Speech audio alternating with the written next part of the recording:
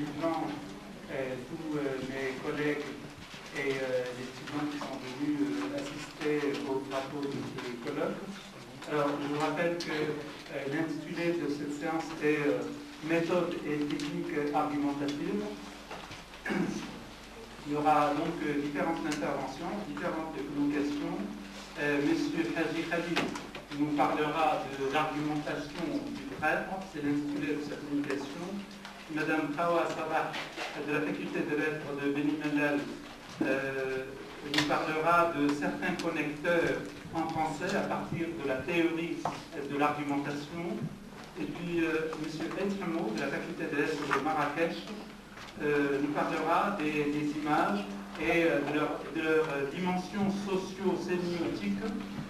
Et puis ensuite, M. Sadefi Astine nous parlera de de la dimension argumentative des éditoriaux des journaux, euh, M. Hamouti Abdullah de la faculté de Juda, l'art de convaincre chez Jean Jaurès, qui est un grand orateur français, un politicien français de la fin du XIXe siècle, début du XXe siècle, et puis euh, mon collègue et ami euh, Benousila Anouar, du département des Français du, euh, de la faculté, euh, nous parlera de, la narrativité et de l'argumentation Enfin, mademoiselle Yassili Kalima, de la faculté des lettres de de Casablanca, euh, enfin, euh, euh, fera un exposé sur l'argumentation et les récits maghrébins, et certains récits maghrébins de langue française. Alors, je donnerai donc la parole à, je donne la parole à Haji Khalid, de la faculté des lettres de, de. Alors, je voudrais vous rappeler qu'il faudrait s'efforcer de ne pas dépasser le minutes. Voilà. Monsieur le Président, Mesdames et Messieurs. Alors, l'argumentation du. Je suis juste un titre qui peut paraître un peu bizarre. Renseignez-vous. Il s'agit de, la trahison dans le genre romanesque. La naissance de la politique en tant que science a vu le jour grâce au recours de certaines personnes travaillées par la destination du pouvoir aux sophistes, grands spécialistes de la laboratoire commencé. Depuis cette époque, dire que la théorie de tout système politique ou de pouvoir se fonde sur une argumentation, revient à énoncer altruisme.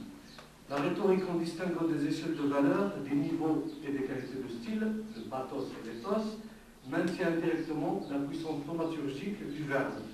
L'histoire de l'humanité est là, mais les paroles dont les conséquences ne sont pas louables parce que sans merci, comme la calomnie qui ne se contente pas du mot pour nuire aux autres, la délation, etc. Bref, le discours de la trahison. La trahison, dans la multiplicité de ces manifestations, nous offre une vraie problématique à explorer.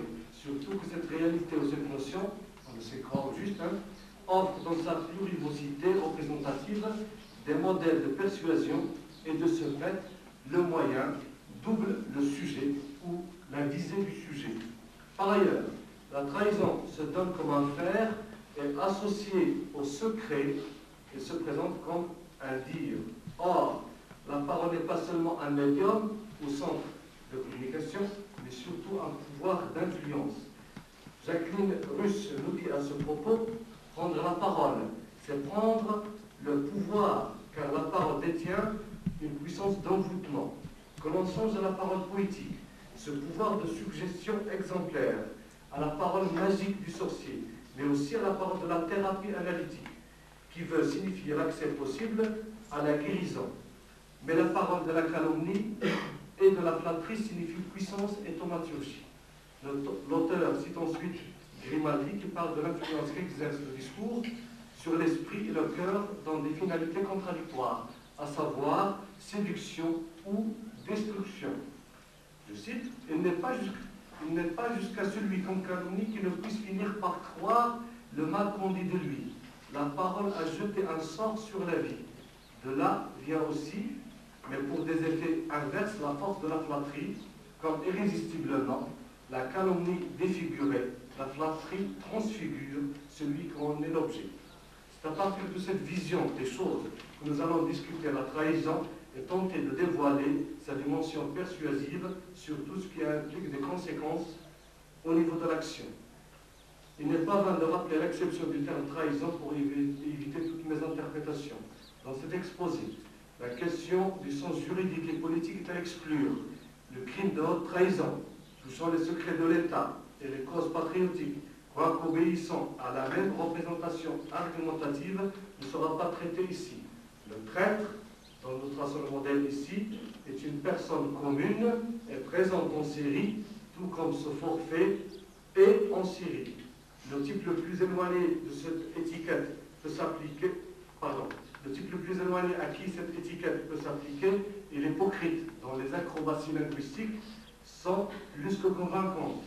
Et celui qui en est le plus proche est l'ambitieux qui ne recule devant rien pour arriver.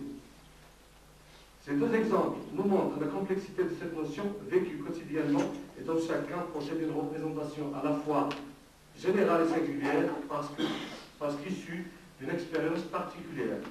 Cela ne nous empêche pas de risquer quelques constatations.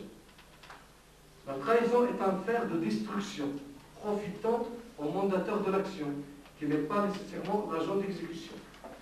Deuxième remarque, il se distingue, la trahison, elle se distingue du crime, entre guillemets, normal, par le fait que le mandateur ne veut pas qu'on le reconnaisse, qu'on traite, mais plutôt comme ami. Troisième remarque, le traite est une personne maniérée, par ambition ou par nature. On peut le définir par une fausseté comportementale. Dernière remarque, il est conscient du rôle de l'image de marque, ou si vous voulez, le masque, et son impact persuasif. C'est pour cela qu'il se met en scène, il prépare ses larmes comme le maître cuisinier prépare un plat, où l'exercice exécuté laisse croire à l'art. Bref, il est le partisan de la théâtrocratie qui gouverne la sympathie des présents. Ces constatations, d'ici le profil de la trahison, nous montrent que nous sommes en présence de toute une stratégie comportementale que dicte une volonté de persuasion. Cette dernière est d'abord un discours et ensuite un faire. Georges Moulinier nous dit à propos de la persuasion que, je cite, ces fins médias sont les moyens d'instruire, de plaire et de toucher. Ces moyens sont évidemment susceptibles de variations et d'adaptation selon les genres, les genres d'éloquence et selon les situations relatives où l'orateur se trouve. La dimension pragmatique de cette notion est donc indéniable, dans la mesure où elle implique une situation d'intersubjectivité où l'exercice d'influence est orienté dans une direction unique. Le traître, jouant sur la confiance de l'autre victime, déploie toute une artillerie verbale qui tient son interlocuteur dans la passivité celle de consommer la plausibilité de son discours. La passivité, ici, est à comprendre dans le sens où on amène l'autre à se laisser dominer par la vision de l'émetteur, l'aliéner complètement, en vue de le manipuler guise ou le perdre tout simplement. Obliger l'interlocuteur à adhérer au discours émis est un travail d'argumentation qui n'est pas nécessairement lié au raisonnement. La raison du trait est d'abord de plaire, Molinier écrit à ce sujet, plaire est à la fois une fin et, un moyen de la rhétorique. C'est apparemment surtout un moyen. La visée première de toute activité oratoire étant la persuasion, le moyen de, plus, de loin le plus efficace, en tout cas le plus dérivant, pour entraîner l'auditoire selon l'orientation que l'on veut, évidemment de lui plaire, c'est-à-dire de lui être agréable, de le charmer, de le séduire. Cette séduction est absolument amorale, tout en étant volontaire, déterminée et calculée. Elle s'appuie sur les qualités de l'œuvre, sur toutes les parties de l'art, y compris l'action, mais spécialement sur l'ensemble des prestiges de l'élocution et du style en général. Dans cette optique, nous pouvons lire le début du roman d'Alexandre Dumas, Le Comte du Monde Christo, plus précisément les chapitres 3, les Catalans, 4, Complot, 5, Le repas des fiançailles, 6, Le substitut du procureur du roi, 7, L'interrogatoire. De quoi s'agit-il? Danglars, personnage, jaloux d'Edmond Dantès, nourrit une haine et œuvre pour nuire, voire se débarrasser de lui. Dantès est amoureux de Mercedes, une catalane aimée de son cousin. Ce dernier ne, cache pas sa haine à l'encontre du premier.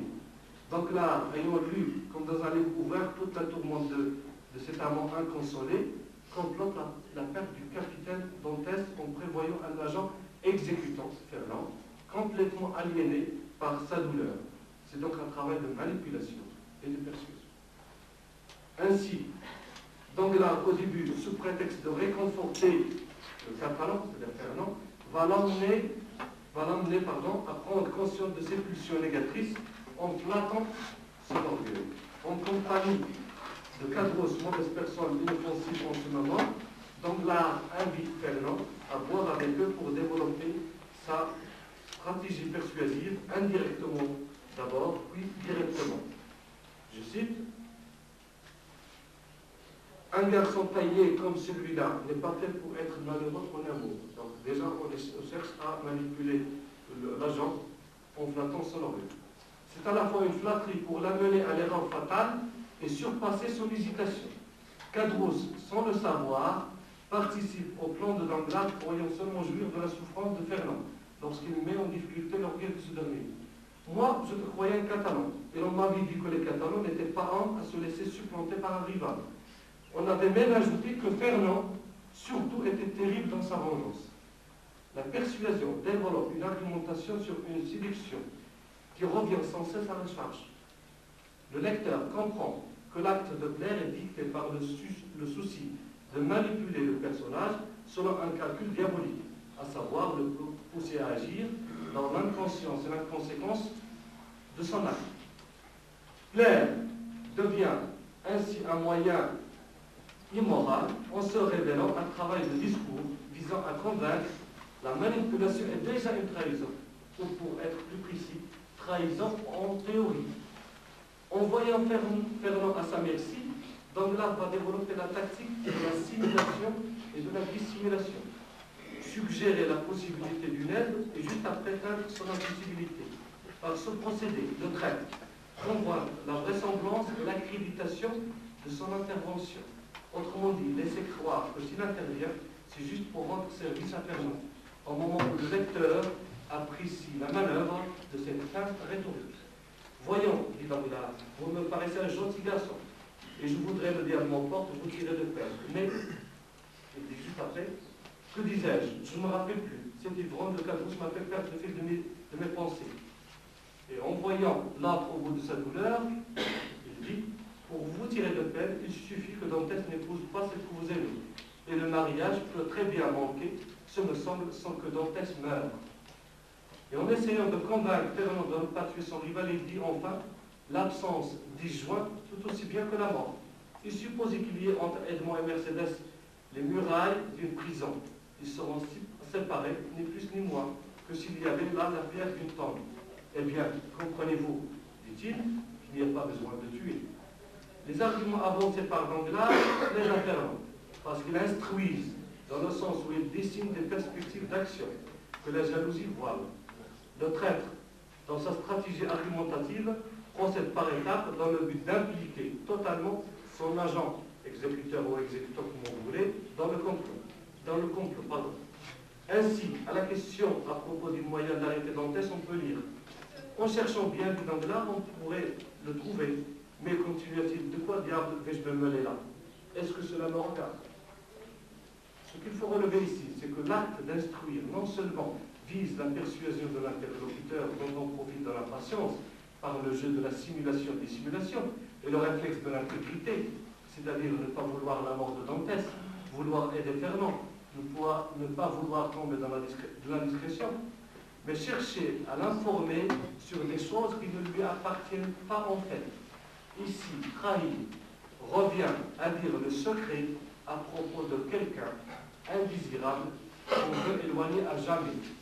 Sur le plan politique et diplomatique, la trahison concerne la divulgation des secrets ou la falsification des faits au profit d'un ennemi à qui ce, geste, euh, à qui ce geste profite. Sur le plan romanesque, instruire, pardon, sur le plan romanesque, instruire sur des choses privées dans le cadre de la préparation de l'intrigue est une dimension de la mimésis, c'est-à-dire un élément configurant se basant sur la plausibilité de l'événement préparé. Non seulement il fait partie des raisons persuasives, mais déjà la présence d'esprit des méchants, et par conséquent, mais prépare déjà la présence d'esprit des méchants, et, par conséquent, ses implications sur l'histoire. Eh bien, je disais donc, par exemple, repris Danglars, que si après un voyage comme celui celui que vient de faire Dantès, dans lequel elle a touché à Naples et à l'Utène, il fait le dénoncer au procureur du roi, comme agent bonapartiste. Il voudrait, il voudrait mieux prendre tout bonnement comme je le fais, cette plume, la tromper dans le ventre, et écrire dans la langue gauche, comme pour l'écriture, pour que l'écriture ne fût pas reconnue. Une petite dénonciation ainsi conçue. Après l'écriture de la lettre, il dit Ainsi votre vengeance aurait le sens commun, car d'aucune façon alors, il ne pourrait retomber sur vous et la chose irait seule. Il n'y aurait plus qu'à plier cette lettre, comme je le fais, et écrire dessus à monsieur le procureur royal. Tout serait dit. Cadrousse, que le comploteur croyait dominé par l'ivresse, intervient pour dire Oui, tout serait dit, seulement ce serait une infamie. L'intelligence du prêtre est plus et elle semble rien changer à ses projets et parachève sa manipulation par sa manœuvre rhétorique. Alors il dit aussi, pour éviter justement que l'autre n'éveille euh, la conscience de l'autre, alors il répond aussi, ce que je dis, ce que je fais, c'est en plaisantant. Et le premier, je serais bien fâché qu'il arriva quelque chose à Dantès, ce bon Dantès. Aussi, tiens, il prit la lettre, la croissa dans ses mains et la jeta dans un coin de la toilette. Et qui diable il songe à lui faire du mal? Ce n'est ni moi ni Fernand, dit Danglars en se levant et en regardant le jeune homme qui était demeuré assis, mais dont l'œil oblique pouvait le papier dénonciateur jeté dans un coin. Dès cette phrase, nous pensons que la persuasion a atteint son but. Lorsqu'il eut fait une vingtaine de pas, Danglars retourna et vit Fernand se précipiter sur le papier qu'il mit dans sa poche et aussi s'élançant hors de la forêt, le jeune homme tourna du côté du pion. C'était une va accomplir le De ces extraits, il est clair que la persuasion du traître, après l'acquisition de la confiance de Fernand, l'instrument de la trahison, développe une série de lieux qui circonscrivent le type de raisonnement argumentatif. Ces lieux sont les suivants. Parole, première, donc, euh, un, parole prononcée contre nous et que l'on retourne contre celui qui les habite. Cela permet à Danglars d'écouter l'intervention de son ami Brown, dont les paroles risquent d'annuler le but escompté. En retournant contre lui son point de vue, il parvient à convaincre de mieux en mieux complètement dominé psychologiquement par son pouvoir oratoire. Deux, jugement antérieur. En flattant la virilité et l'orgueil de Fernand, Danglars est sûr d'obtenir tel effet. C'est le travail de la manipulation. Trois, la consécution, c'est-à-dire un fait on entraîne nécessairement un autre, indépendamment de l'éventuelle réciprocité de rapport, du rapport. C'est la mise en discours de la conséquence de la manipulation. 4. Les fins. Qui correspond à opérer une distinction entre, d'un côté, la fin affichée, le résultat acquis d'une action, et de l'autre, un but supposé caché, que l'on tire de la constatation que la de la constatation que la réalisation complète de l'acte en question comprend concrètement et simultanément ou outre la réalisation d'un fait ou d'une situation correspondant à cet autre aspect de l'action. C'est la dialectique être par être du manipulateur devant l'action du manipulé. L'arrestation de Dantès sert en apparence Fernand seulement, mais en vérité surtout Danglars. Ce qu'il faut conclure de ces données, c'est que la délibération du traître n'est pas dictée par le possible d'une situation particulière, mais elle est située sous l'angle du profitable. Le traître camoufle l'expression de la réalité sous le voile de l'honorabilité. Ainsi agit Danglars devant Fernand, mais aussi le substitut, le substitut du procureur du roi, charge de l'affaire, devant Dantès quand il assure qu'il est le seul témoin de la sympathie de son père pour Bonaparte. L'opportun se donne sous l'image de l'honnête, l'opportunité devient opportunisme car dictée par la vanité et l'ambition. La félonie de Danglars et, du substitut du procureur est dictée par l'ambition, même si au début, chez le premier, elle semble découler d'une haine injustifiée à l'égard de Dantès. Quoi qu'il en soit, le traître n'hésite pas à sacrifier un innocent pour atteindre le but tracé. Cependant, la trahison avant d'être un faire est d'abord un dire sur ce faire projeté. Ce discours agissant en tant que manipulation ou persuasion, reflétant en réalité la vérité du traître. Ce dernier est un être indéniablement intelligent et qui se le rappelle continuellement. d'où justement l'origine de son ingéniosité oratoire. Un certain nombre de remarques. Une argumentation en vue de l'autre. Dire une chose et penser à une autre. La justification systématique des paroles et des actes, l'hypocrisie morale ou l'honorabilité affichée. À propos de l'honorabilité, quand il cite par exemple l'évangile, il dit cherchez, dit l'évangile, vous C'est pour cela que le prêtre compte toujours sur la complicité inconsciente de son interlocuteur, en jouant sur, sur l'innocence, la naïveté, la franchise et la sincérité des hommes. Deuxième remarque, une argumentation en vue de soi, l'auto-justification, qui conduit ensuite à l'autosatisfaction. Une phrase, c'est vrai, repris d'Angela, les Français ont cette supériorité sur les Espagnols que les Espagnols ruminent et que les Français inventent. Cette attitude égocentrique est remarquable chez le, substitut du procureur du roi. L'autosatisfaction se manifeste comme ivresse de l'intelligence, comme grandeur. C'est pour cela que le prêtre cherche toujours à faire son passé et à effacer ses taches noires. Attitude semblable à celle de l'homme politique de quelques citations. Et après, après cette phrase arrondie, Villefort, pour juger de l'effet, regarde les convives, comme après une phrase équivalente, il aurait au parquet regardé l'auditoire.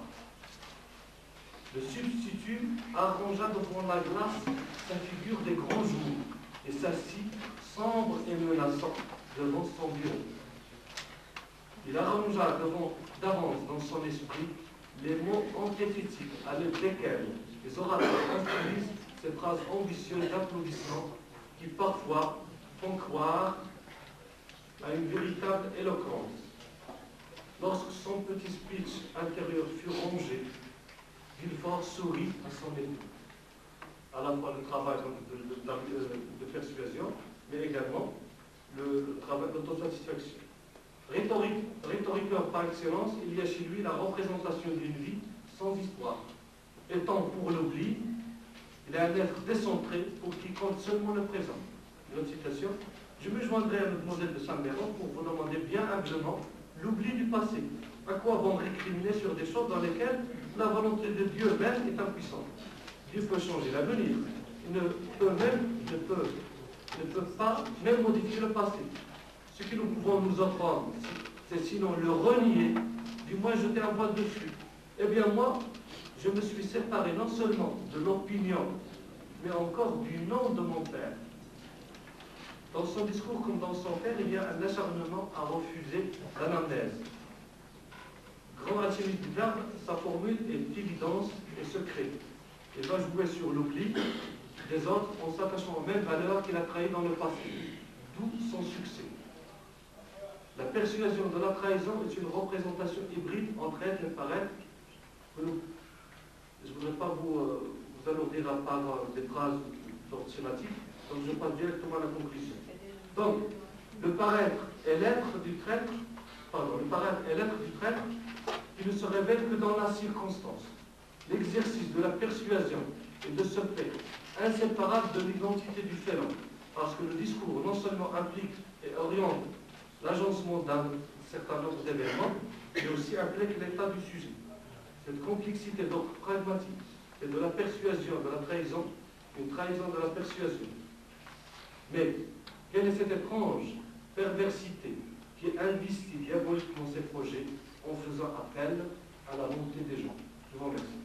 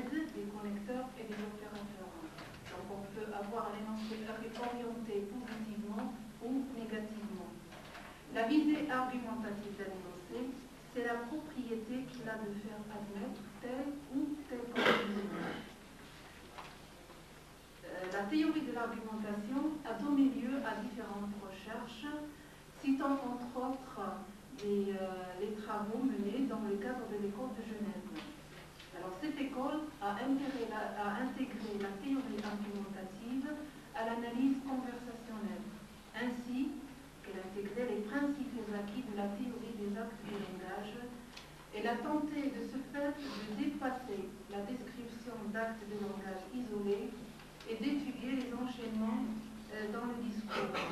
Parmi les chercheurs les plus actifs de cette école, citant Roulet euh, dans son livre L'articulation du discours contemporain, euh, c'est dans ce livre qu'il a étudié, si vous voulez, les connecteurs du français à partir de conversations authentiques. Donc, euh, Roulet, toujours dans le même livre, a proposé un modèle de structure hiérarchique de la conversation et une première approche des différents types de marques de cette structure. Elles, sont au nombre de trois. L'acte de langage, l'intervention et l'échange. Sûr, l'acte de langage, c'est l'unité euh, monologique minimale. L'intervention, c'est l'unité monologique maximale. Elle peut être constituée d'un acte directeur et d'actes ou d'intervention subordonnée. L'échange, c'est la plus petite unité euh, dialogique. Plusieurs interventions de locuteurs différents constituent euh, un échange. Et c'est intéressé, euh, intéressé également à un autre principe, c'est le principe d'organisation fonctionnelle qui permet de distinguer deux types de constitution l'acte directeur et l'acte subordonné. L'acte directeur, c'est l'acte de langage qui donne le sens général de l'intervention, c'est-à-dire sa force illocutoire. L'acte subordonné, il vient appuyer, euh, justifier, argumenter en faveur de l'acte. C'est une constitution qu'on peut supprimer sans compromettre le sens de l'intervention. Euh, L'autre chercheur toujours de l'école de Genève qui s'est intéressé aux connecteurs et à l'analyse de la conversation, c'est Monchelin.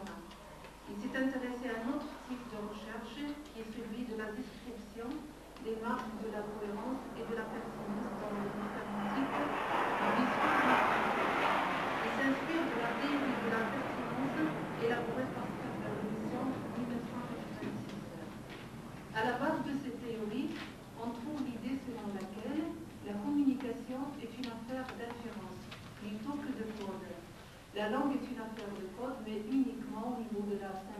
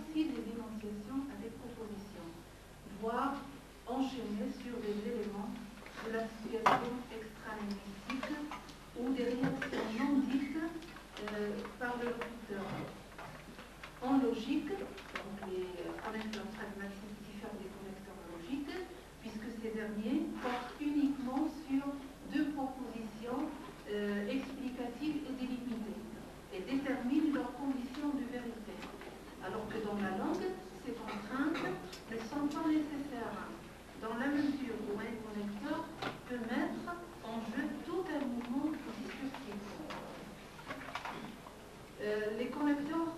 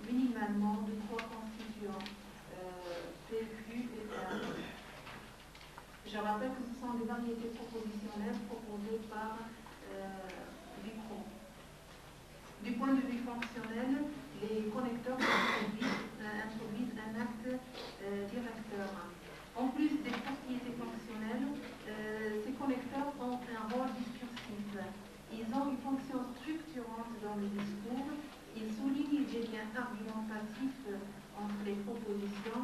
Il sert même parfois de clôture euh, discursive à ce. Euh, Ces connecteurs admettent donc un emploi symétrique qui ne veut guère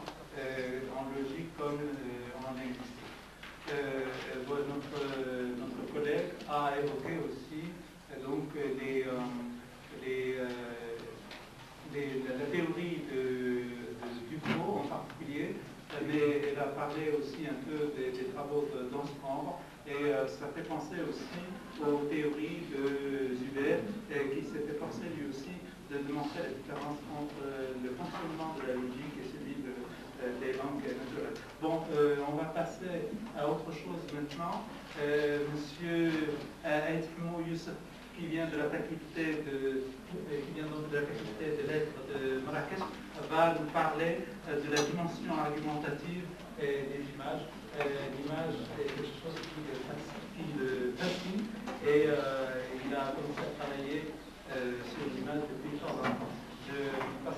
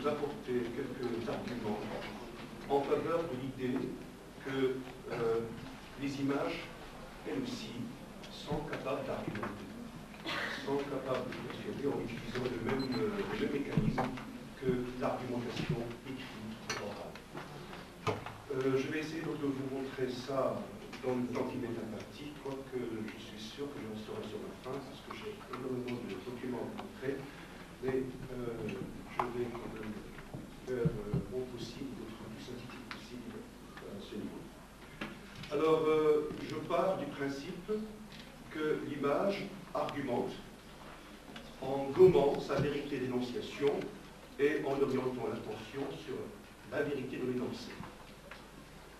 Et le travail que je vais vous présenter maintenant s'insère dans une recherche globale qui porte sur l'impact des nouvelles technologies de la communication sur l'imaginaire du Marocain populaire. Personnellement, je travaille sur l'espace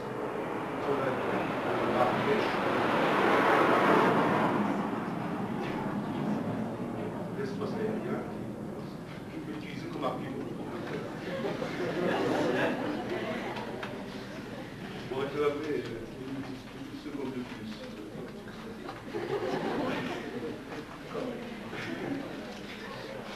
Donc, euh, je disais que je travaille sur l'impact des nouvelles technologies sur euh, l'imaginaire populaire, et j'ai pu constater que la fascination de l'image et la l'omniprésence de l'image sont de très grands arguments qui, euh, sont exploités par les manipulateurs de et que le, Marocain normal, qui est incapable de décoder les images, euh, borde ou consomme à longueur de journée, à longueur des sans pour autant décoder les mécanismes de, cette argumentation.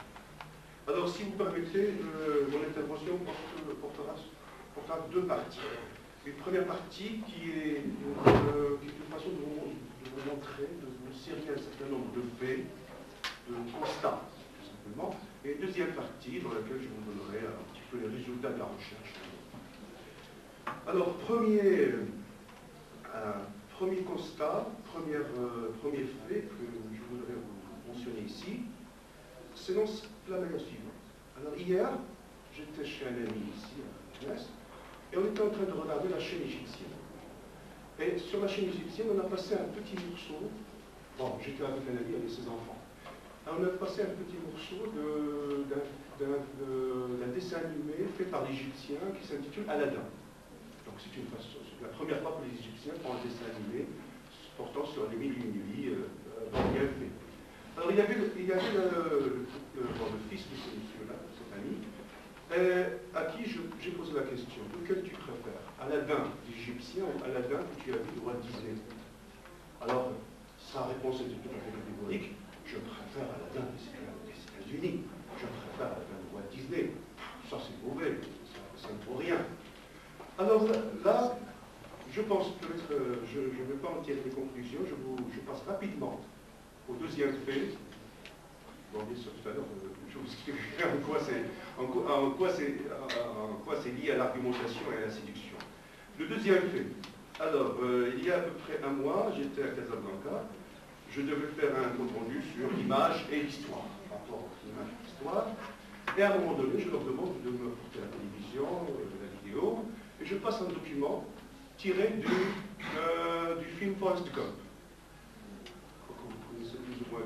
vous avez entendu parler du film, Alors dans le film, il y a un moment d'une séquence dans laquelle on a le président Kennedy qui salue ou qui, enfin, qui parle avec Tom Hanks.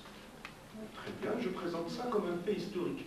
Et j'en tire des conclusions sur l'affaire euh, euh, ou comment ça s'appelle enfin, avec, euh, avec, Clinton maintenant. J'en tire des conclusions, etc. Et les gens acceptent. Ça passe c'est normal. Bon, j'étais crédible, il faut le reconnaître que j'étais très crédible à ce moment-là. Et je vous assure que pendant deux heures euh, de, la, rencontre, personne n'a bronché, personne n'a réagi, personne n'a dit attention monsieur, ah, attention, euh, Tom Hanks est né le jour où, euh, Kennedy est mort. Attention, c'est la même année. C'est-à-dire que Tom Hanks et Kennedy ne se sont jamais rencontrés c'est par la magie de l'image, par la magie de l'ordinateur, par la magie de, la manipulation de l'image qu'ils se sont rencontrés.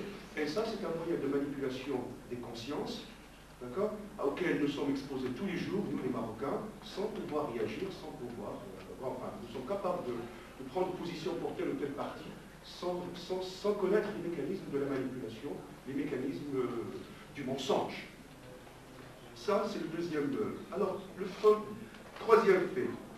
Euh, avant-hier, donc euh, c'était le mercredi, je regardais Arte, donc les émissions sur Hitler, sur les, compagnons d'Hitler, etc. Donc on parlait de Heisler.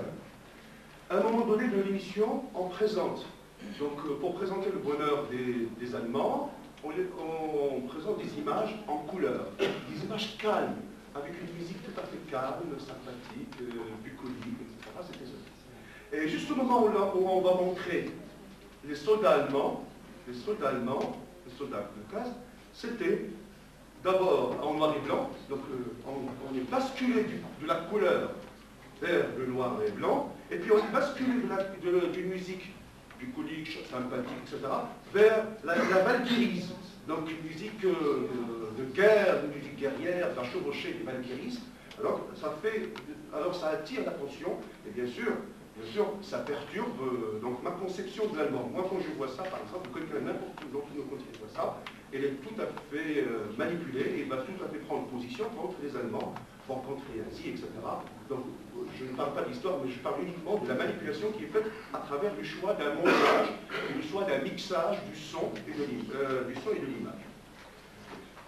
Voilà, donc les, premiers faits que je voulais vous raconter. Donc, bien sûr, il y a d'autres faits Bon, il faudra que je vous le dise parce que ça, c'est une bavure de mes étudiants à la de Marrakech. Une fois, je leur ai présenté le film Rindy, le film Rindy, donc on a vu le film, on voulait discuter. Et alors, on était euh, exposé à la question suivante. Est-ce que le film correspondait à la réalité ou non alors, Je vous assure que grand nombre de mes étudiants étaient tout à fait sûrs que le film correspondait à la réalité. Tout à fait sûrs. Quelle était leur preuve, leur argument solide que défendait euh, euh, c'était que cela correspondait à ce qu'ils ont fait à la télévision. Tiens, l'image cinématographique trouve sa preuve dans l'image euh, télévisuelle, mais non pas dans la réalité historique, historique, socio-historique. Voilà. Alors je voudrais vous montrer, donc toujours dans le, dans le cadre de cette série de faits, je vous montre juste quelques-uns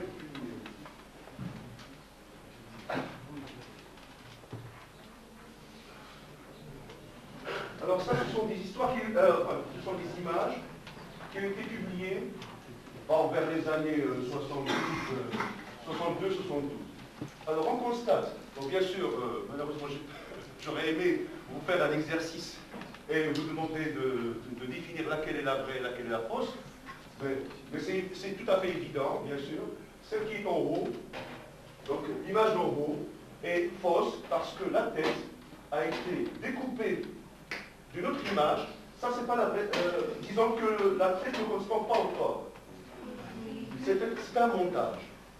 Et je vous assure que ça a été publié, ça a été consommé par des gens, et ça, bien sûr, ça a été publié bien avant la rencontre entre Ma. C'était pas une vraie tête. Premier cas. Deuxième exemple. Deuxième exemple de manipulation et d'argumentation. Ça aussi. Alors, quand vous rencontrez cette image, par exemple, dans un ouvrage, dans, un, sur une revue ou n'importe quoi, vous êtes sûr que, tiens, une, ce sont des images de mort. Or, c'est une mise en scène, c'est un mensonge. Ça a été fabriqué, ces gens-là n'étaient pas vraiment morts. Bon, ça, a été publié en 1871, donc ce n'est pas une véritable image. Donc bien sûr, le même type d'image, on les rencontre aujourd'hui dans les journaux, euh, les journaux marocains, étrangers, on retrouve les mêmes types de manipulations, les mêmes types de mensonges. Et bien sûr, on est, on est désarmé face à cette, euh, face à cette porte de persuasion. Troisième euh, exemple de détournement des images. Alors, la même image, durant, euh, disons, la guerre de 14-18, la même image a été publiée par les Français, en bas, par les Français pour dire, voilà, c'est le, disons, c'est le, euh, voilà, héroïque galopade des dragons allant prendre position sur les éclatements des choses, etc., Et puis la même image a été, été publiée par les, Autrichiens et sous, la légende, avec une légende, disant la cavalerie française avec mitrailleuse en fuite. regardez la mitrailleuse, deux choses. Donc ça, c'est la manipulation de l'image par le verbal. Par le verbal, bien sûr, il y a tout un... Dernier exemple, à vous servir ici, celui-ci, dans l'exploitation, c'est ce qu'on appelle la retouche de l'image. Alors, une personne, donc en haut, c'est la première image qui a été publiée, bien, bon, enfin, il a, été publiée à une certaine époque, puis tout de suite après, quand la personne bon, a été limogée, etc., elle a été effacée de l'image. Le limogeage politique a été euh, lié au, limogeage euh, visuel aussi.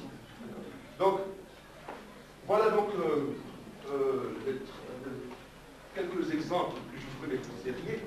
Je crois que je peux m'en tenir là parce que ça c'est déjà convaincant. Et juste un, exemple télévisuel. Je voudrais vous lire que j'ai trouvé dans Actuel. Alors, le 24 janvier 1992, l'armée algérienne disperse des partisans du fils. Quelques coups, de feu éclatent dans les rues d'Alger. Pour transformer ces tirs sporadiques en, en salles le monteur rajoute les détonations sur la bande sonore. D'abord, dans la réalité, on n'avait qu'un seul coup, quelques coups de feu. Mais pour pouvoir dramatiser, pour pouvoir spectaculariser l'image, on a ajouté un peu plus de son, on a ajouté un peu plus, euh, disons, de mise en scène. Et ça, c'est, disons, c'est le comble de la manipulation. il y a énormément d'exemples que je... ah oui, prenons ce dernier exemple. En janvier 91, la 5, donc pas la cinquième, mais la 5 en France, avait illustré une partie d'un reportage à Alger avec des plans du Hezbollah à. Le reportage portait sur Alger et les images portaient du, du Hezbollah à. Ah, bien sûr, vous voyez la, stupeur des, Algériens quand ils vont voir euh, ça. Euh, voilà donc euh, les faits que je peux résumer en ceci.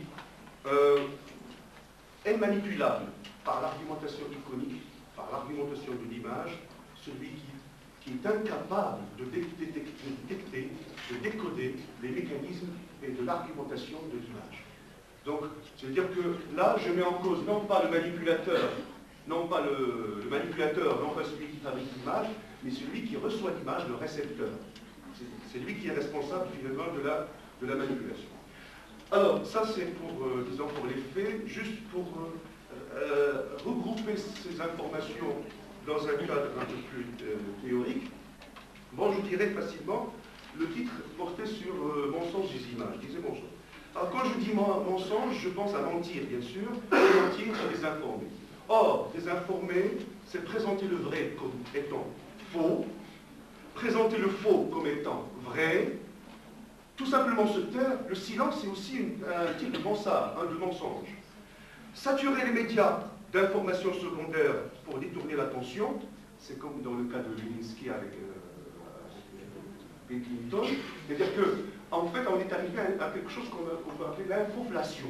Il, y avait une inflation d'informations sur des petites, euh, petites choses. En, en, fait, on n'était pas du tout informé, on était plutôt sur sur, manipulé par, par, la même information. Donc, euh, mentir, c'est désinformer, et euh, mentir, c'est le propre de l'homme, beaucoup plus que le rire. Et il faut savoir, oui, euh, le l'homme, moi je dirais mot qui mentes, le mot mentes, si je peux me permettre ça, et mais en même temps, l'homme a le pouvoir de, démentir. Mais, s'il vous plaît, si vous permettez, je crois qu'il y a des dimensions du mensonge. Dans le passé, le mensonge était soit inter-individuel, interpersonnel. Donc je peux mentir à, mon ami, à mon petit groupe. Euh, il peut être social, pour un petit groupe, euh, donc pour une nation par exemple. On peut mentir pour un petit groupe, pour un pays. Mais maintenant, aujourd'hui, le mensonge est devenu global, mondial, d'accord? Je dirais même, je dirais même que le mensonge est devenu planétaire. Donc on parle du village planétaire, mais maintenant il y a le mensonge planétaire. Et je crois que euh, la manipulation des consciences entre dans ce sens-là. Il faut remarquer une chose aussi, c'est que dans le passé, étant donné qu'il y avait des valeurs, on considérait le mensonge comme étant négatif. Aujourd'hui, les gens se euh, rivalisent sur le plan du mensonge. C'est devenu une manière positive de se faire valoir. Prenez le cas de la publicité, prenez le cas des entreprises, prenez le cas de ce qu'on appelle la direction de la communication dans les, entreprises. C'est celui qui arrive à, mieux mentir est monte au garage dans une entreprise. Euh, donc est un acte pragmatique qui s'insère dans une stratégie argumentative et qui exploite un certain nombre de supports.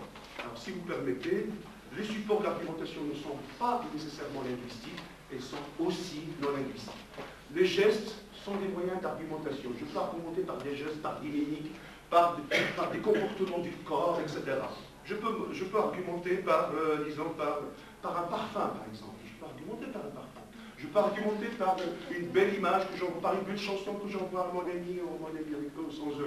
Je peux argumenter par, par différents objets, par, la cuisine aussi. Je peux, la femme peut séduire son mari euh, par la cuisine, peut argumenter par la cuisine. Donc il y a différents, différents, euh, disons, différents types d'argumentation, différents supports d'argumentation que malheureusement nous n'avons pas encore étudiés. Parce rien du tout, à mon avis, au Maroc, rien du tout n'a été fait dans ce sens-là pour voir les principes d'argumentation non linguistiques. Parlons de l'image. Bon, bien sûr, je ne vais pas vous donner tout ce que, que j'ai pu collecter à propos de l'image, mais je voudrais insister sur trois petits, trois petits aspects euh, rapidement. Euh, euh, il faut prendre l'image dans deux sens. Le sens restreint, c'est l'image, donc, bon, n'importe quoi, c'est ça. C'est, enfin, c'est ça, c'est ça aussi, bon, l'image, c'est ça aussi, donc, quoi que ce soit un mensonge, vous avez connu cette image, mais c'est un mensonge, c'est une fausse image. Donc, c'est une fausse image, n'a jamais existé. Enfin, le commentaire de cette image n'a jamais existé en vérité. Donc, alors, donc, dans le sens restreint, euh, l'image peut être considérée comme un objet sémiotique visuel qui rend visible l'invisible et qui est capable de rendre invisible le visible. D'accord Donc euh, les deux à la fois. C'est donc la photographie, la télévision, le cinéma, l'image numérique, l'image virtuelle, Internet, etc. Ça, c'est le sens restreint, c'est l'image visuelle. Mais il y a un sens large euh, qui est défendu par Umberto Eco dans La guerre du faux, et qui est bon, enfin, euh, l'image euh, comme étant une imitation, un faux, le faux, qu'on présente, et qui circule maintenant dans toutes les sociétés, dans toutes les civilisations, euh, qui, est devenu culturel ou intraculturel, c'est-à-dire intrinsèque à la culture. Alors on parle du faux, par exemple, enfin, le faux visuel, le faux gustatif, quand vous mangez un yaourt, par exemple, aux ananas ou bien aux, aux fraises, etc., c'est des fraises synthétiques, c'est du faux. D'accord? Euh, Quand vous touchez de la soie, une soie synthétique, c'est du faux aussi. Quand vous, il y a certains parfums qui imitent telle ou telle, euh, telle, ou telle plante, ou telle autre, c'est de l'imitation. Que sur le plan auditif, une cassette audio, par exemple, de Jacques Brel ou n'importe qui, c'est du faux, c'est pas du vrai Jacques Brel, c'est Jacques Brel sur, sur euh, un objet magnétique. D'accord? Bon, la contrefaçon, quand vous achetez un sac, par exemple, de quartier ou de n'importe qui, c'est du, du faux. Et sachez très bien les choses euh, qui, me semble, qui, me, qui me semble dangereuse maintenant, c'est qu'il y a une bipartition de la société humaine. Il y a ceux qui vivent dans le vrai et qui jouissent de la beauté du, monde, d'accord, qui peuvent euh, se payer des voyages à Hawaï, se payer des voyages dans tout le monde, et se payer la vraie viande, etc. Et puis, il y a le reste. Le reste à, qui on fait biogiter énormément d'images, énormément de faux. C'est-à-dire que ce que, nous mangeons maintenant, enfin, c'est presque du faux. nous, euh, nous sommes baignés dans du, faux, c'est-à-dire que le, vrai, c'est devenu l'apanage des, des nantis, l'apanage de, disons, d'une minorité dans le monde. Alors, troisième euh, chose sur laquelle je voudrais insister, euh, pourtant sur l'omniprésence de l'image, l'omnipotence euh, de l'image, ce sont les postulats de l'image. Bon, je que ce soit un peu plus Donc, l'image postule que quel est l'analogon du réel, donc quelle est, la réalité elle-même. D'accord? Et ça, malheureusement, les, les, manipulateurs de l'image, l'énonciateur de l'image, le sait, sait que l'image n'est pas la réalité. Mais le récepteur, lui, lui, considère que l'image, c'est la réalité. L'image gomme son énonciation et son énonciateur. Notre rapport à l'image, en l'absence d'une éducation analytique, est global et émotionnel. Donc, euh, ça, c'est le lieu de la manipulation. Euh, l'image euh, a pour fonction de, satisfaire donc, les besoins d'information, de séduction et de manipulation. Mais l'image est partielle et partiale. Elle est partielle parce qu'il ne correspond pas du tout à la réalité à 100%. Elle est partielle parce qu'elle correspond principalement au point de vue de celui qui l'a fabriquée.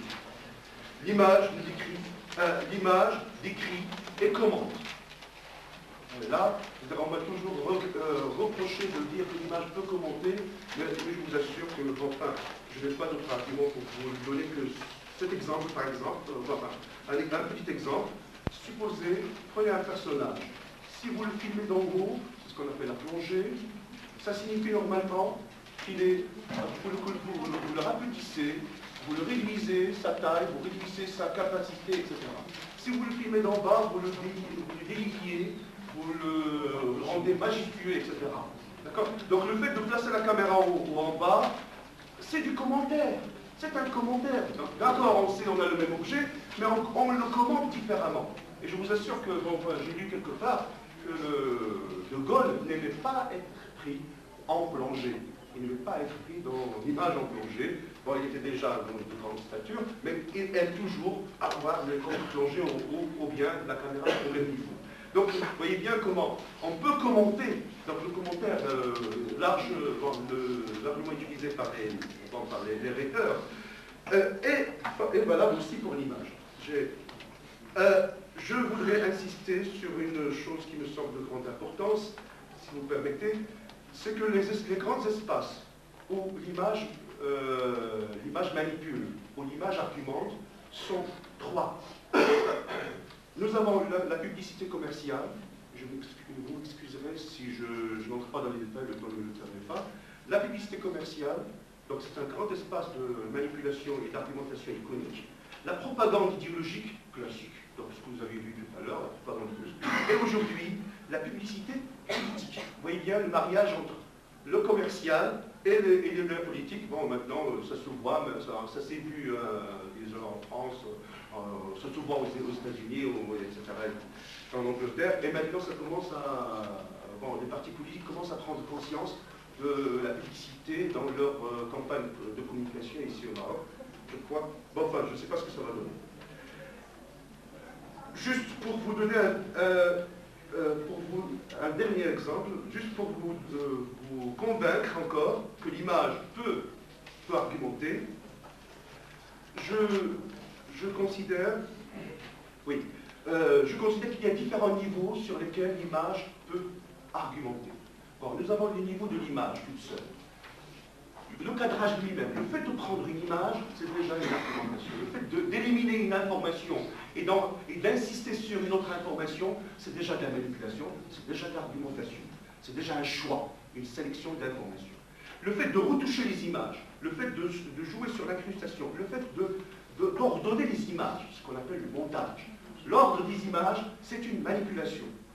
Juste, euh, une manipulation. Par exemple, pour exprimer la causalité, je peux ordonner les images de telle ou telle manière. Je vous donne un exemple que j'ai vu sur euh, une chaîne euh, israélienne, une fois. J'étais en France, j'ai vu ça. Et puis, en même temps, sur la chaîne, un des exemple, sur la chaîne libéenne. alors, pendant les derniers, bon, ça fait deux ans, il y avait le autour de l'intifada. Alors, ce qu'on a montré, regardez-vous les comptes, euh, dans un premier plan, on a montré les Palestiniens qui courent vers la gauche, qui courent en jetant des pierres, etc. Dans le deuxième plan, on a montré les, Israéliens qui ripostent, d'accord, qui ripostent par euh, des armes à feu et par des chars. Normalement, ce que vous avez, compris, c'est que les, les Palestiniens sont les provocateurs. D'accord Ce sont eux qui ont provoqué ça.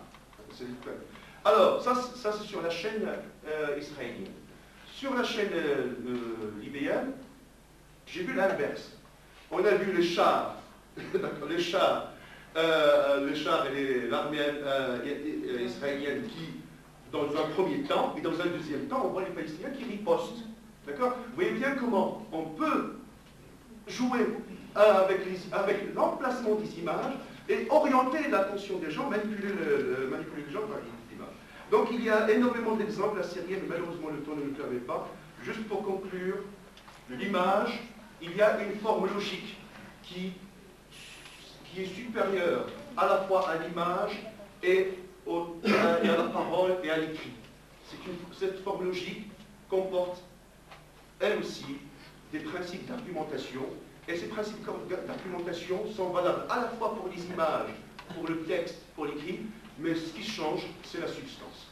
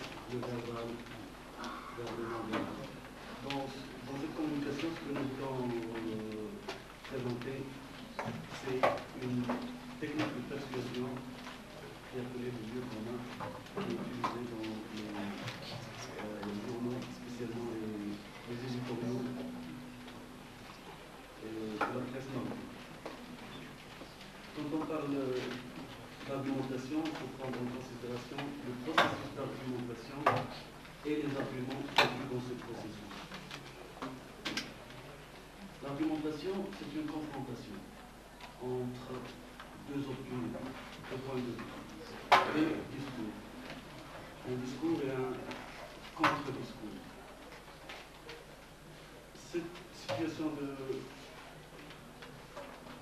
de confrontation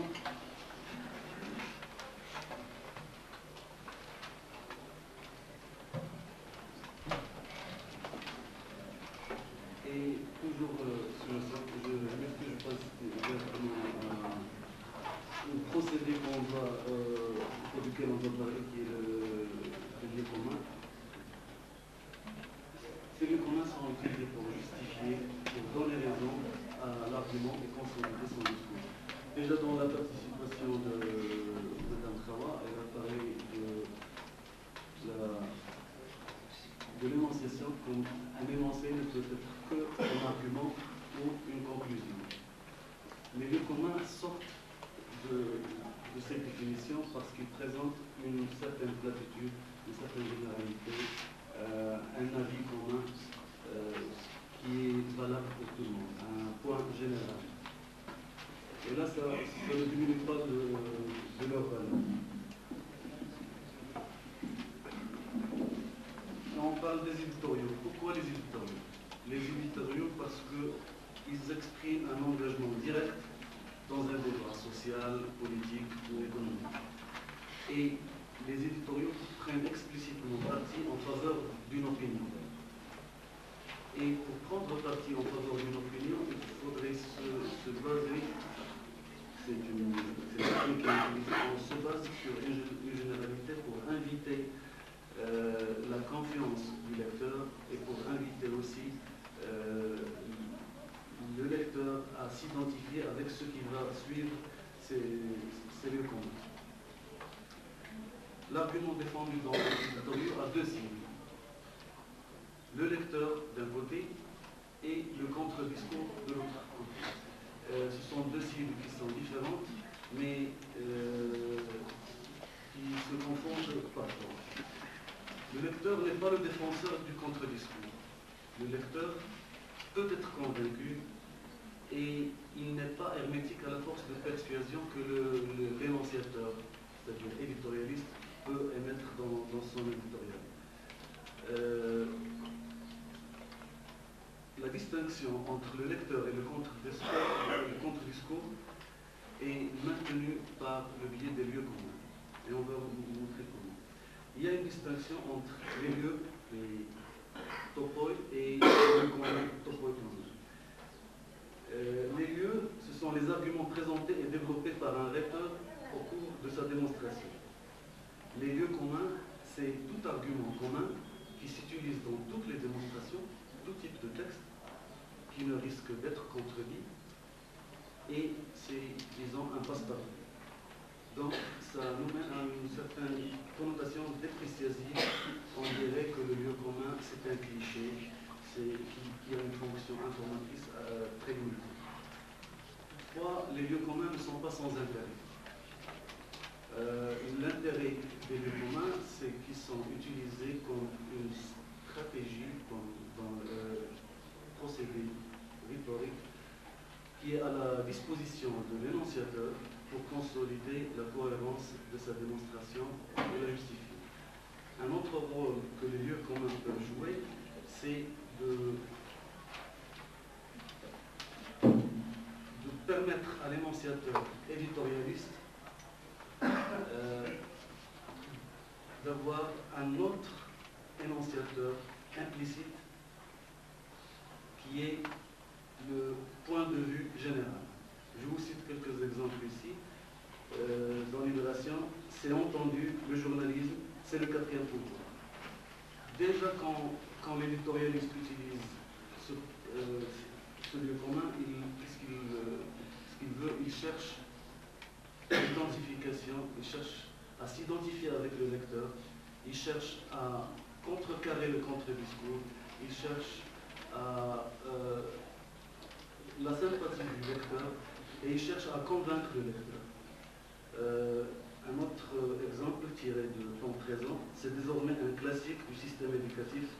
Chaque année, à la même période, les élèves de nos lycées expriment leur colère vis-à-vis des notes académiques.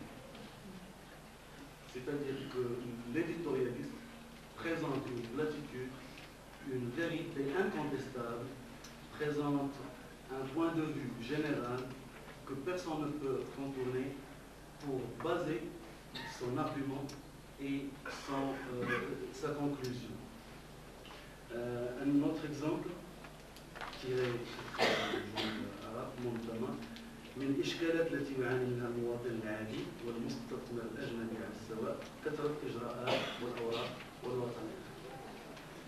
Donc, quand on parle de lieu commun comme étant euh, un énoncé qui ne peut être qualifié ni comme argument, ni comme conclusion, cela ne veut pas dire qu'il est dénué de valeur, cela ne veut pas dire euh, que, c'est un énoncé qui est utilisé juste euh, ça, mais vous savez, dans la technique argumentative, euh, chaque chose a un objet, chaque, énoncé a un objet.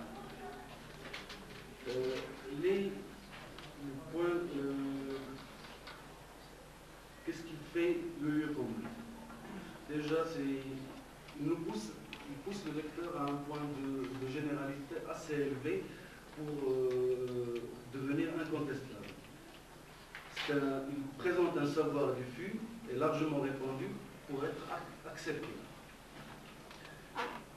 Et, là, nous, nous, avons un double énonciateur, comme on a dit, euh, les lieux communs sont en général euh, non subjectifs, c'est-à-dire dans leur structure euh, linguistique, il n'y a pas le jeu, le sujet. Donc il y a le passif, il y a des techniques qui contournent la, présentation de l'énonciation comme si l'éditorialiste disait c'est pas moi qui dis ça, mais c'est un point de vue général que tout, que tout le monde partage et que vous, lecteur ou bien vous, contre-discours, pouvez partager avec moi. Et de là, je base mon argument pour atteindre une certaine conclusion et achever, euh, atteindre ce, ce qu'on pourrait dire la clôture argumentative. Donc nous avons un double énonciateur et nous avons aussi un double destinataire. Le double destinataire, c'est à la fois le lecteur, qui est le, le et le contre-discours qui est absent mais qui est toujours omniprésent. Omniprésent parce que l'éditorialiste, à travers son, éditorial, et nous savons bien que les, journaux, on n'a pas euh, choisi le corpus de la droite ou le corpus de la gauche, l'éditorialiste a toujours un point de vue à défendre, un point de vue euh, à émettre. Euh, une opinion à consolider, à justifier, euh, une invitation euh, à son auditoire de s'identifier avec lui, de s'identifier avec les arguments qui apparaissent juste après le lieu commun. Et de là, on voit que le lieu commun est utilisé comme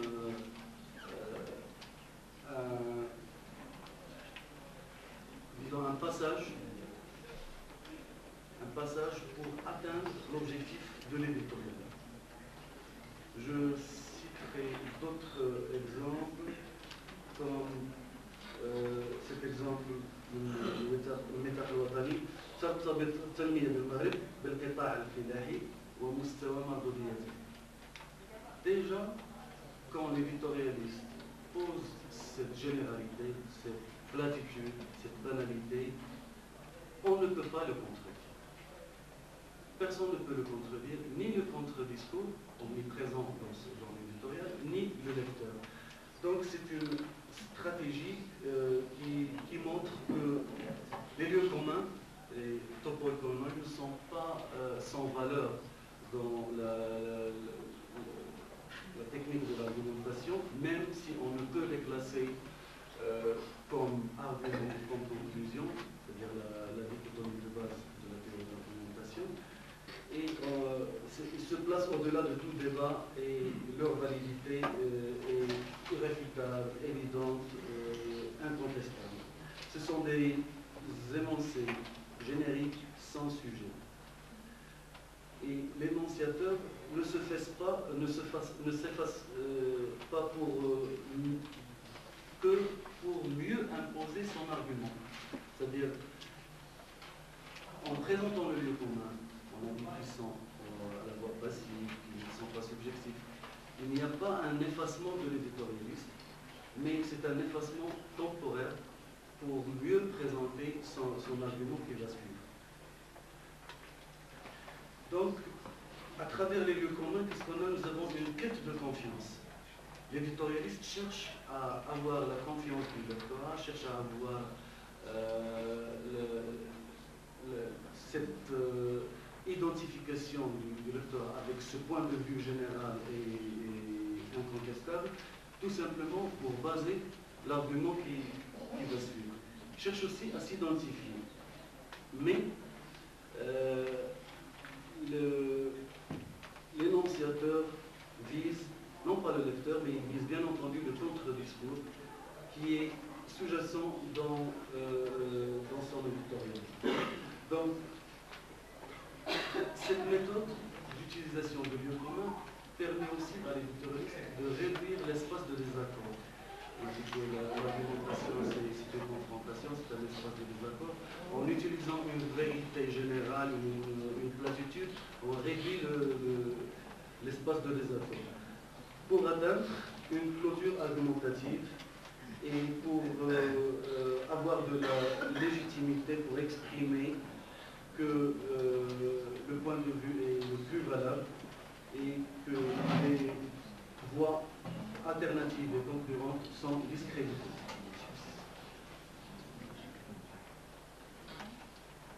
On peut aussi euh, approcher ce, ce phénomène de lieu commun qui est utilisé dans les éditoriales à travers la théorie de la pragmatique, euh, en particulier, euh, la de en particulier la théorie de, de la politesse. Euh, on peut dire que ces lieux communs sont utilisés comme stratégie qui, qui est utilisée pour redresser l'effet euh, d'imposition présent, dans l'éditorial. C'est-à-dire que l'éditorialiste, quand il utilise le lieu commun, cette, euh, méthode, il essaie de redresser l'impact de l'imposition qui est présente tout au long de- de l'éditorial. Euh, je donne un exemple ici. Euh, c'est désormais un classique du système éduca- éducatif. Chaque année, à la même période, les élèves dans nos lycées expriment leur colère vis-à-vis des normes académiques. On présente euh, le, le- le lieu commun pour euh, réduire l'impact de ce qui va venir, peut-être une critique très sévère de, de- de la, de la politique euh, euh, éducative, euh, etc.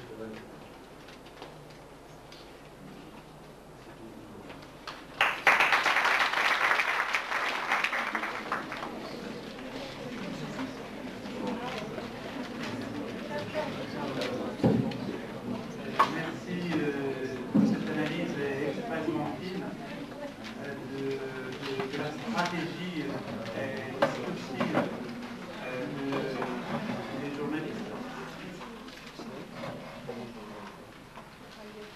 Il est donc souvent question, comme dit euh, mon collègue, euh, pour les journalistes, de- d'exploiter euh, des, lieux- des lieux communs afin d'obtenir euh, l'adhésion du public, afin d'obtenir l'adhé- l'adhésion du lecteur. Il s'agit donc euh, d'être très à, ce, à, ce- à cet aspect euh, des, euh, des articles et en particulier des éditoriaux. Alors, euh, je passe la parole maintenant à M. Fimoudi Abdullah, qui a des lettres Zunda, euh, qui va nous entretenir de l'art de convaincre, de l'art de persuader chez le politicien français Jean Jaurès, le Jaurès. Merci. D'abord, je tiens à remercier M. le doyen de la faculté des lettres de la classe et messieurs les membres du comité d'organisation d'avoir accepté ma participation à ce colloque sur l'art de et de m'avoir donné aussi l'occasion de tirer le maximum de profit de cette manifestation scientifique et de renouer avec bien des.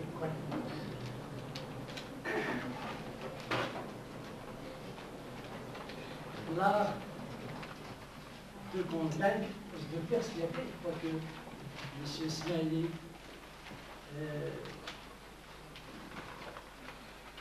hésité peut-être à employer l'un des deux en réalisant mon, le titre de ma communication et moi-même euh, j'ai franchement euh, hésité à choisir entre persuader et convaincre. Et je crois que euh, le dictionnaire de, Robert nous donne quand même l'occasion de faire une petite distinction. Alors, pour ce qui est du verbe convaincre, euh, la première acception est la suivante. Amener quelqu'un à reconnaître la vérité d'une proposition ou d'un fait. Amener quelqu'un à reconnaître la vérité d'une proposition ou d'un fait, mais euh, il donne comme équivalent persuader. Et quand on lit euh,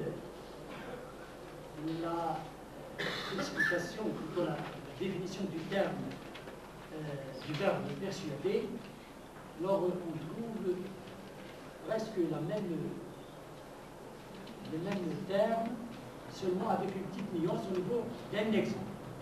Alors persuader quelqu'un de quelque chose, c'est l'amener à croire, à penser, à vouloir, à faire quelque chose par une adhésion complète, sentimentale autant qu'intellectuelle. En tant qu'équivalent, convaincre. Mais dans l'exemple que l'on donne, euh, on, sent quand même qu'il y a une certaine nuance. Alors voilà un exemple de Joubert qui dit on peut convaincre les autres par ses propres raisons. Mais on ne persuade que par les leurs. C'est-à-dire que quand on convainc, on a des raisons et on veut toucher l'autre, l'amener à partager ce que l'on pense. Mais pour ce qui est de la persuasion, c'est-à-dire que l'autre a déjà des, les mêmes raisons et on l'amène à les reprendre. Donc, après donc, cette petite euh, nuance qui était peut-être nécessaire et qui va peut-être m'amener à maintenir le titre tel qu'il est, je dirais qu'il s'agit dans cette communication d'un commentaire, je dirais, d'un passage extrait du discours que le grand orateur français Jean Jaurès, né en 1859, mort assassiné en 1914, qui fut pendant de longues années le chef du Parti socialiste français, prononça devant la jeunesse pensante euh, le texte que j'ai et qui parut dans ma dépêche le 14 juillet 1890. On avait même 30 Notre euh, intention est d'abord de montrer que l'art oratoire, qui était l'apanage des hommes religieux jusqu'au XVIIe siècle, voire rencontre les horizons funèbres, et qui a connu un essor pendant la Révolution française avec Mirabeau, Danton, Robespierre, Saint-Just, Camille Desmoulins euh, et Camille Jordan va se raviver avec les orateurs de la fin du XIXe siècle, avec Jules Ferry, par exemple, et le début du XXe siècle, le compte à de main de 1841 euh, à 1914. Et essentiellement avec Jean Jaurès, dont l'éloquence euh, captivait les esprits et émouvait les cœurs. En bref, notre objectif est de montrer comment, par la mise en œuvre des procédés rhétoriques et stylistiques, par l'élévation de la pensée, Jean Jaurès parvient, parvient à faire de ses discours des chefs-d'œuvre de l'art de bien parler et de l'art de persuader. Jaurès, ancien élève de l'école normale supérieure et agrégé de philosophie, avait l'habitude de s'adresser essentiellement à la jeunesse française. Elle était pour lui l'espoir, sinon l'espérance de la société française. Les discours qu'il prononçait lors des grandes occasions, comme la distribution des prix du grand lycée de Toulouse, le 31 juin, juillet 1892, sont célèbres. Il suffit de euh, consulter Henri Bonnard, stylistique rhétorique, poétique, euh, intitulé aussi euh, Procédé annexe, euh, qui date de 1982, pour trouver une page consacrée à Jean Alors ces textes traduisent en effet sa foi en le progrès social et dans le texte que nous allons étudier, il aborde un des sujets de sa prédilection. Nous sommes donc en présence d'un discours d'un orateur chevronné qui manie avec aisance, voire avec dextérité, l'art de parler. En lisant cette page de Jean Jaurès, nous retrouvons l'éloquence à la fois, euh, à la fois de l'homme, de la chair et de la tribune. Si l'étude de textes s'attaque à toute espèce de document oral ou écrit, prospectus, commandement militaire, inscription, prière, il subsiste une rhétorique dont le champ d'étude est défini par le terme de littérature. Et l'œuvre littéraire, comme le l'œuvre littéraire est d'abord un art, l'art du beau linguistique, qui permet à l'artiste de plaire à un très large public. on a déjà euh, utiliser mettre le terme De toucher ce public par l'usage que l'on fait de la langue, même si cette définition est rejetée par les philosophes qui affirment que la notion de beau est elle-même instable. La rhétorique se veut une esthétique du langage.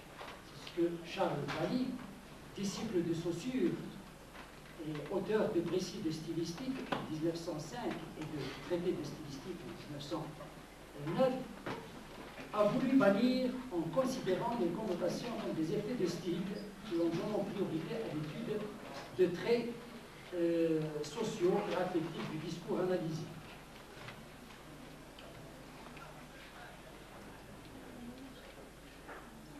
et l'on sait euh, que l'une des tâches des nouveaux rhétoricien était de reprendre à zéro l'inventaire des genres.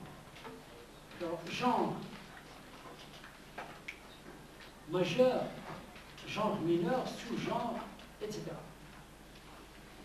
Le discours de l'orateur s'ouvre sur un constat, la grandeur du peuple.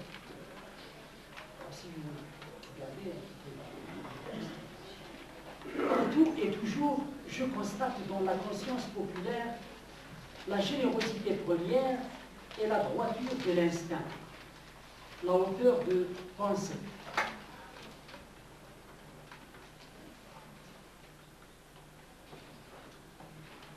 et la misère du peuple.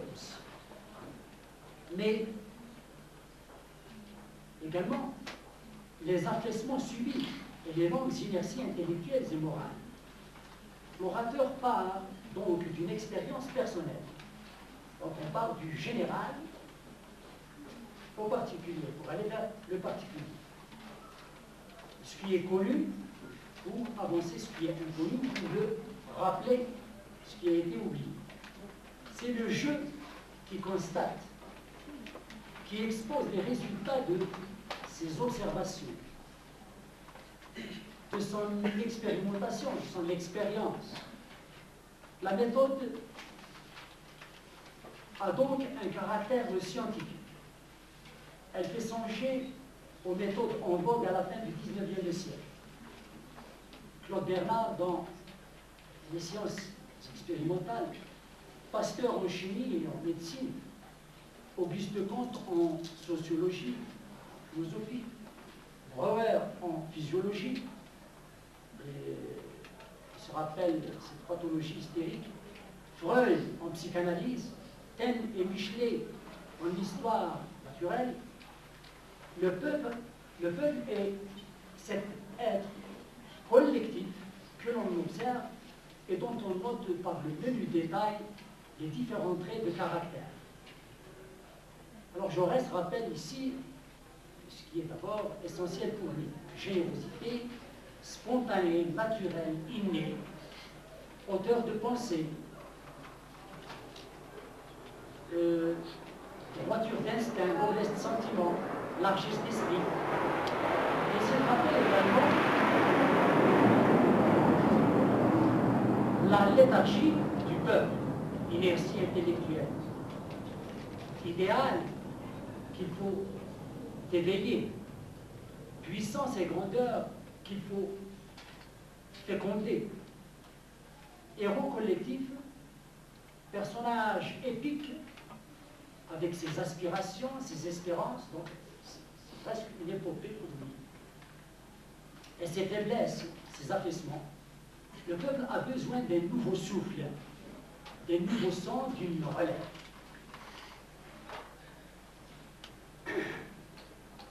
Voilà l'invention, si l'on se réfère à la rhétorique tradition.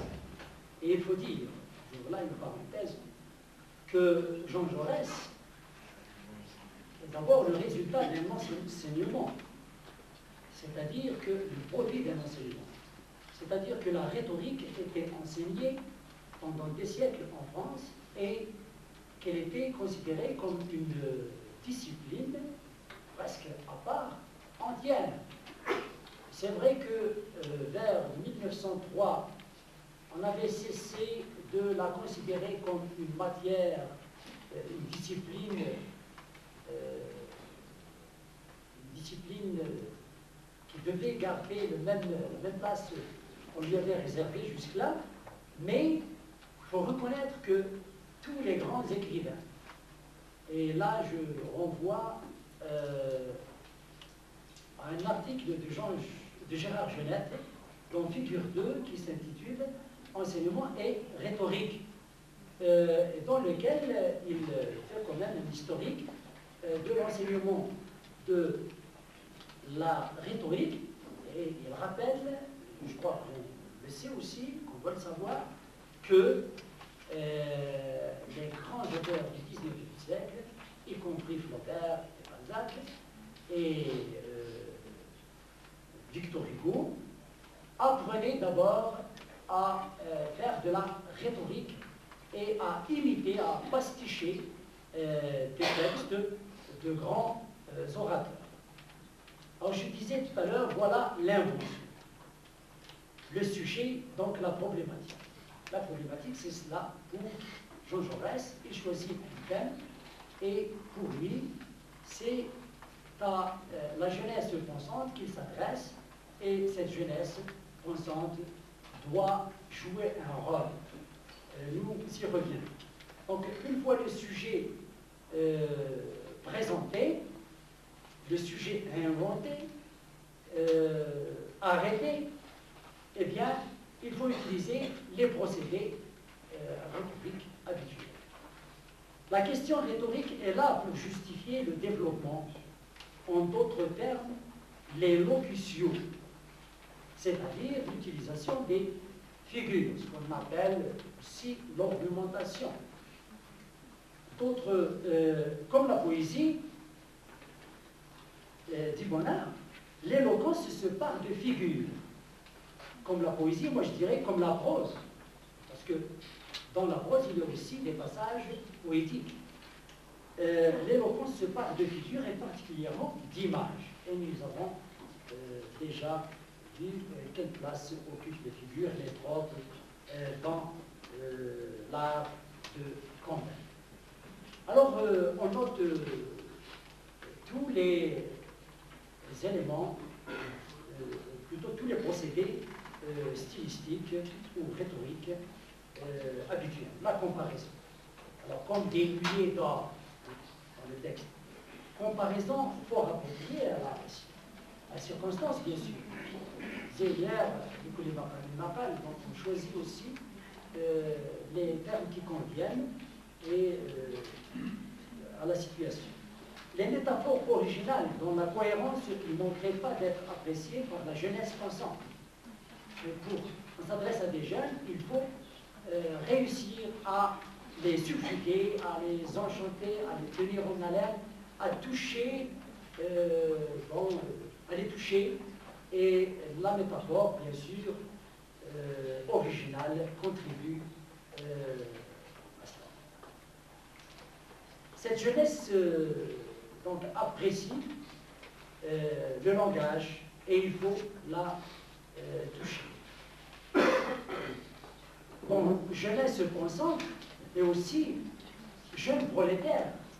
C'est un socialiste aussi qui s'adresse à des ouvriers, des, ouvriers dont il peut faire des philosophes. Il y a le travail, mais il y a aussi la pensée. Alors, des, la jeunesse, vous parlez de métonymie ici. jeunesse, c'est vrai que la jeunesse ici, c'est un nom, euh, c'est une abstraction en quelque sorte, mais qui désigne les êtres, les, les jeunes. Alors, contexte, la répétition, on peut parler d'anaphore, eh bien, c'est une figure qui utilise constamment euh, les épithètes, les emphases. Bon, un apport au niveau des structures de phrases même, euh, bon, et emploi de, du présentatif C, qui permet de mettre en relief euh, opposition, il faut, il ne faut pas caractère complet du vocabulaire, du vocabulaire où abondent les formules hyperboliques. Alors, la générosité première, la droiture de l'instinct, la hauteur des pensées, des sentiments. comme on vient de le voir, euh, ce euh, style hyperbolique, ou plutôt ces formules hyperboliques sont très fréquentes. La généralisation, c'est d'ailleurs le texte s'ouvre sur cela, la génération, partout et toujours. Euh, l'énumération des adjectifs, des verbes, des noms. Jaurès, euh, philosophe, s'évertue à faire une démonstration. Parce que faire un discours, c'est d'abord faire une démonstration. Entreprendre une joute intellectuelle faire des acrobaties. Alors, euh, par exemple, ici, il y a l'image du peuple, terre aride. Il faut faire de cette terre aride une terre euh, riche. En opposition, on a la jeunesse féconde.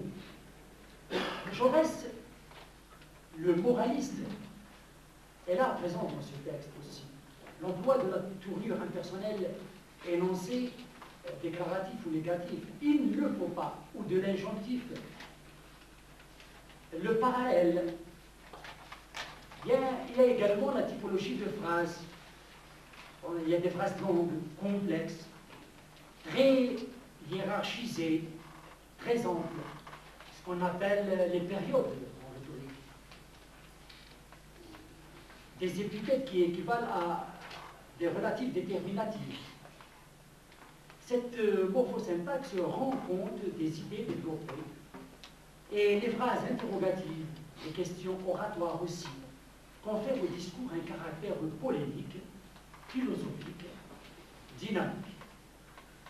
Pour ce qui est de l'impératif, eh il y a l'exhortation et l'injonctif. Et croyez bien que. L'emphase était comme euh, le note bien, comme on le sait, un ornement obligatoire. C'est un ornement euh, dans le discours et on l'utilise. La gradation aussi. On commence par une idée générale, et d'ailleurs c'est le mouvement dans le texte. On fait le, constat, on part d'une abstraction et on passe à l'exemplification. Et c'est ce que fait Jean Jaurès ici. Mais on reprend de nouveau les abstractions. Les questions d'être philosophiques. Et c'est la fin du texte, vous le notez bien. Il y a une réflexion sur l'art. Une définition de l'art et du rôle que joue l'art. Alors, euh, la réflexion aboutit à une définition de l'art, mais aussi à la portée, si vous voulez, euh, du texte, la portée philosophique du texte lui-même. C'est la philosophie de Jaurès, le socialiste, qui croit en l'homme, en la jeunesse, en son rôle.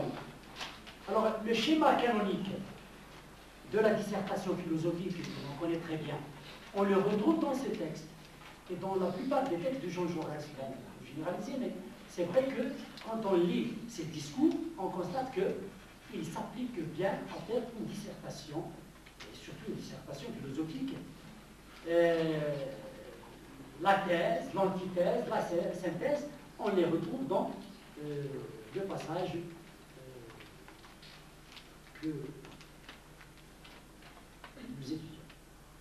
Le peuple, la jeunesse et son rôle, pensée, hein, euh, dans la société, le rôle de la jeunesse se concentre vis-à-vis du peuple et de l'humanité. Il faut donc dire que euh, Jean Jaurès insiste d'abord sur l'idée. Et l'on se rappelle c'est cette phrase de Boileau, ce qui se conçoit bien, s'énonce clairement, et les mots pour le dire viennent ou arrivent aisément.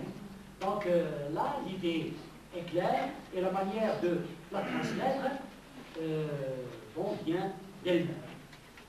Alors il insiste sur cette idée euh, principale, qui est la suivante. La jeunesse doit remplir une mission auprès de ceux qui n'ont pas la chance de pouvoir. C'est ça l'idée qu'il développe.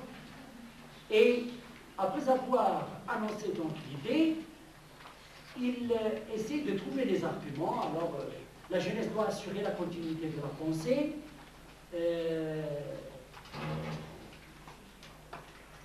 il doit apprendre à la jeunesse qui n'a pas eu, aux ouvriers qui n'ont pas eu la chance d'étudier, euh, la chance de penser, oui, d'apprendre à penser, enfin, il insiste sur l'éducation professionnelle et sur euh, ce rôle que peut jouer la, euh, la jeunesse en transformant, si vous voulez, ce qui est manuel en ce qui est intellectuel. Bon, la rhétorique, je crois, consiste à faire changer d'avis. Et c'est ce que fait Jean Jaurès, à dissuader et à persuader. Je m'arrête.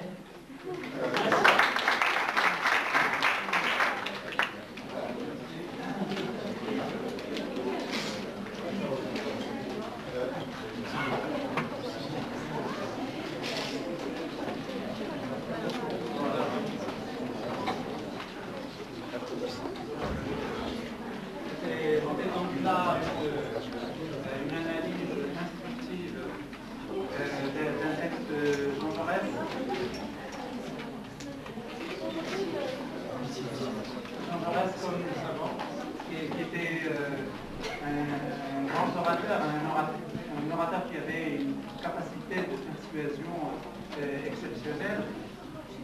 Et euh, cela constituait un danger, bien sûr, pour les, pour les fascistes qui ne pouvaient pas le, combattre en se servant des mêmes moyens que lui et qui ont fini par l'assassiner.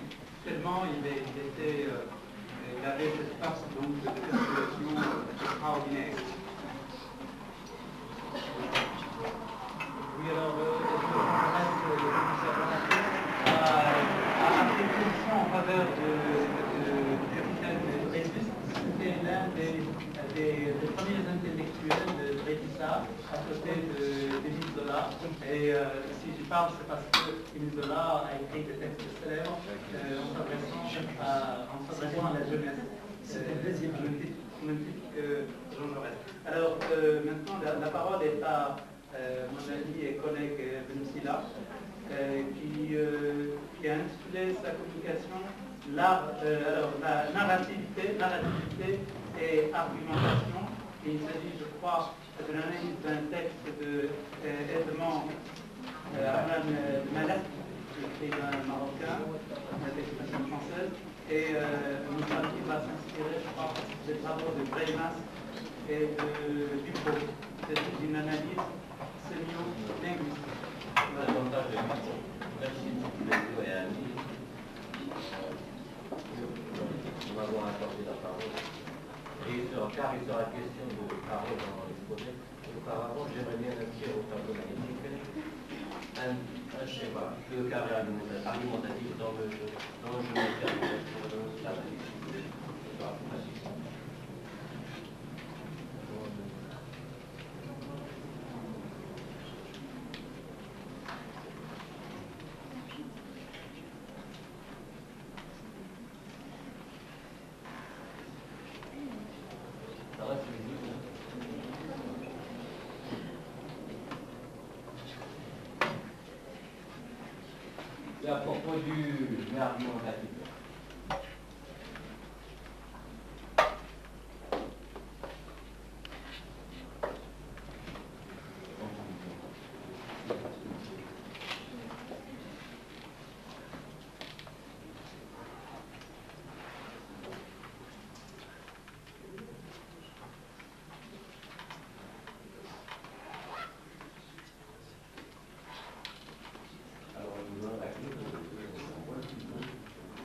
5 de pe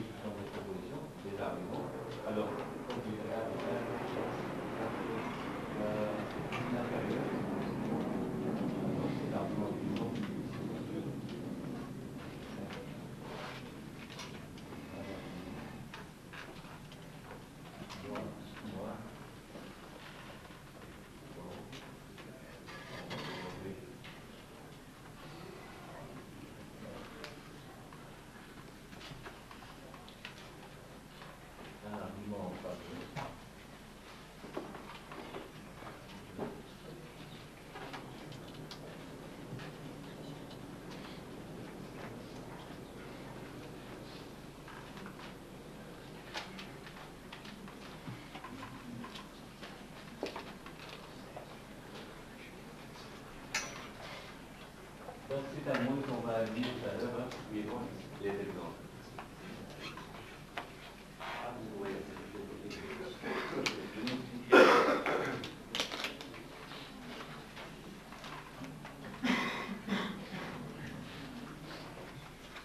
Alors, l'un des chapitres de Parcours immobile, premier roman de Edouard Amran est constitué par le récit d'un interrogatoire, suivi par le personnage Hull, voilà, dont ils ont bien sûr problématique, annexe communiste. Euh, D'entrée jeu, je, euh, euh, mes cartes.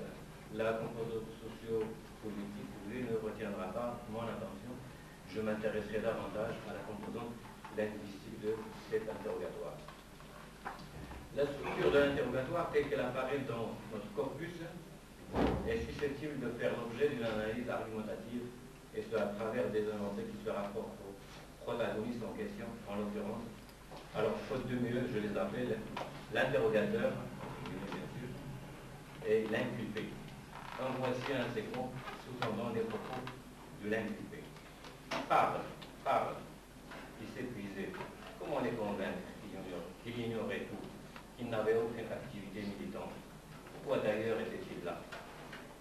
Force nous est de constater que même si l'inculpé sait qu'il n'atteindra pas son objectif, celui de convaincre son adversaire, il a recours à un discours qui n'est pas dépourvu d'argumentativité, d'où l'emploi du verbe convaincre à valeur métadiscursive.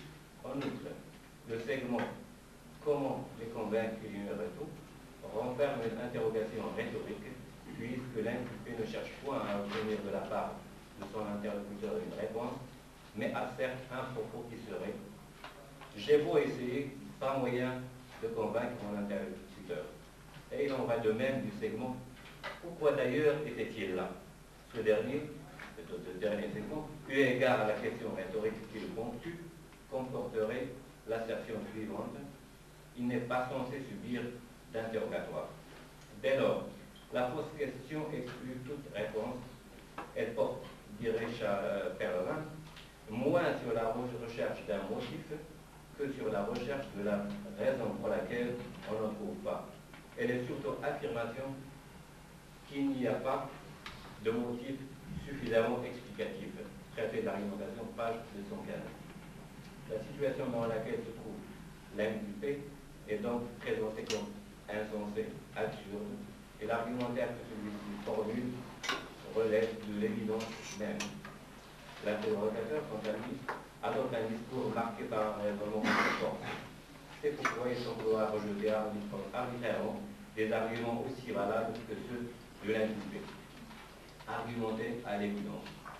En partant de la thèse selon laquelle il s'agit d'argumentation chaque fois, alors je cite le chaque fois qu'un locuteur prend en charge deux ensembles, A et C, dénoncés, en présentant l'un comme destiné à faire admettre l'autre, du pronom sur l'argumentation et l'acte d'argumenter, page 143 et 164. On transcrit l'énoncé de l'inculpé de la sorte. Alors il y a un énoncé d'ensemble, bien sûr, qui s'appelle argumentation, qui s'articule en argument et conclusion. L'argument c'est A et la conclusion c'est C. Alors, l'argument il ne croit plus au communisme. Le second argument, il avait démissionné du Parti communiste. La conclusion, c'est il ignorait tout. Il n'avait plus aucune activité militante. Il convient de préciser que le symbole A représente des énoncés d'arguments qui amèneraient l'interlocuteur à adhérer à la conclusion représentée, elle, par le symbole C.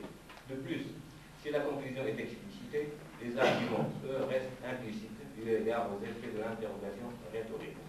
Quant à leur explicitation, elle est déterminée d'une part par le contenu posé suivant, qui n'avait aucune activité militante, contenu relatif à la conclusion, de même le contenu en celle-ci sera, il en avait auparavant.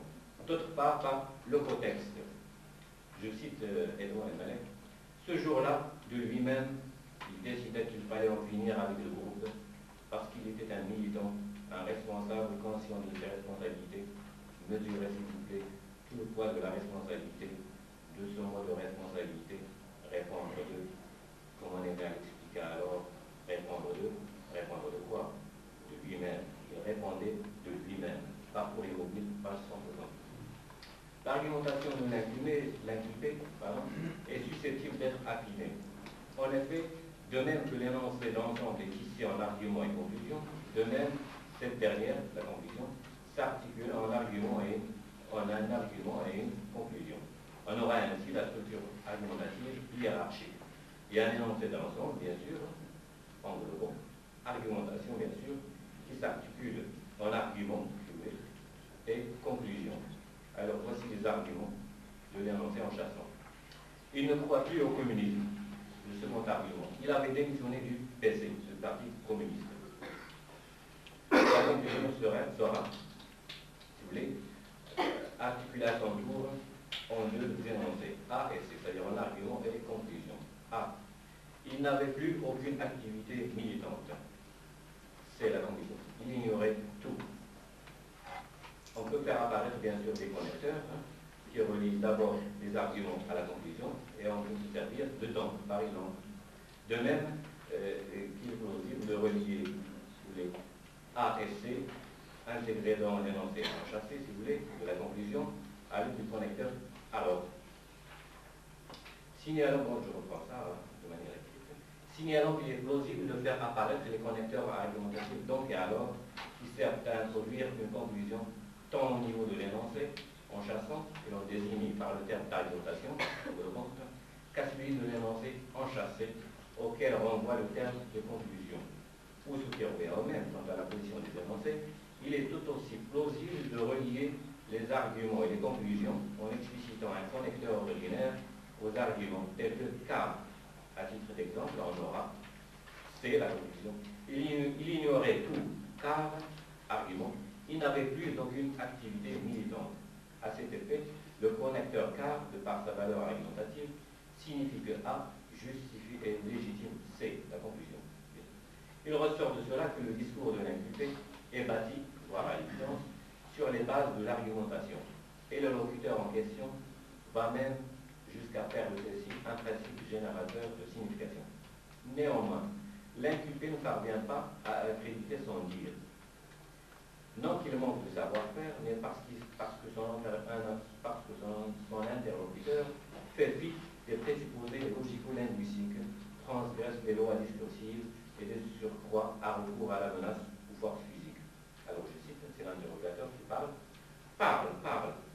L'autre, bavané, yeux verts, silencieux. Tu vois, pour un homme de ton âge, il vaut mieux éviter le pire. Parcours immobile, page 22. Le texte met donc en scène deux types de discours opposés. L'un à caractère argumentatif, l'autre animé par le raisonnement en force. Marqué par la, discordance et l'inadéquation entre ces deux types discursifs, aussi bien au niveau des objectifs qu'à celui des principes du discours, cette situation de parole se heurte à une impasse. Mais il arrive tout de même à l'interrogateur de prétendre persuader l'inculpé de parler, de révéler des informations sur les activités des militants communistes. Je cite l'interrogateur. Parle, parle. Ne me dis, ne me dis pas que tu n'es plus communiste. Moi, je suis stirtalien. Je suis toujours, on ne change pas. Dis-nous combien de cellules et ce travail avec les jeunes. Parle, parle. Parcours les mobiles, page 22. Raisonnement en force ou tautologie. À vrai dire, l'interrogateur rejette arbitrairement l'argumentation de l'inculpé en lui substituant un énoncé à caractère figé et dont les propositions sont identiques quant à leur contenu. Tu es communiste, tu resteras communiste. Il est bien évident que ces, ces propositions, présupposées par l'énoncé d'ensemble, sont marquées par la répétition et la redondance et de ce fait relèvent de la tautologie, que l'on définit comme l'explication d'une donnée par son semblable. Elle est en effet, je cite pas, ce procédé verbal qui consiste à définir le même par le même. Mythologie, page 240. Ce recours au discours tautologique est doublement significatif. L'interrogateur rejette les chaînes de la logique, puisque sa parole n'a rien d'explicatif, et il va même jusqu'à emprunter une des lois naturelles, qui n'est pas des lois, à savoir l'évolution. D'autre part, il ne fait pas sienne les valeurs argumentatives qui caractérisent en revanche le dire de son interlocuteur.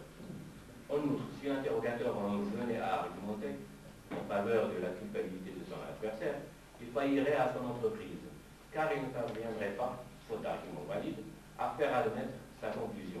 Bien plus, il pourrait même formuler des propos pourvus d'argumentativité, certes, mais qui se retourneraient contre lui. Il donnerait donc raison à son, et de ce, de ce, fait, il se trahirait. Autrement dit, il y a dans la tautologie, écrit Roland un double meurtre. On tue le rationnel parce qu'il vous résiste, on tue le langage parce qu'il vous trahit. Mythologie, page 241. De plus, le discours tautologique, on le sait, est étroitement lié à la doxa.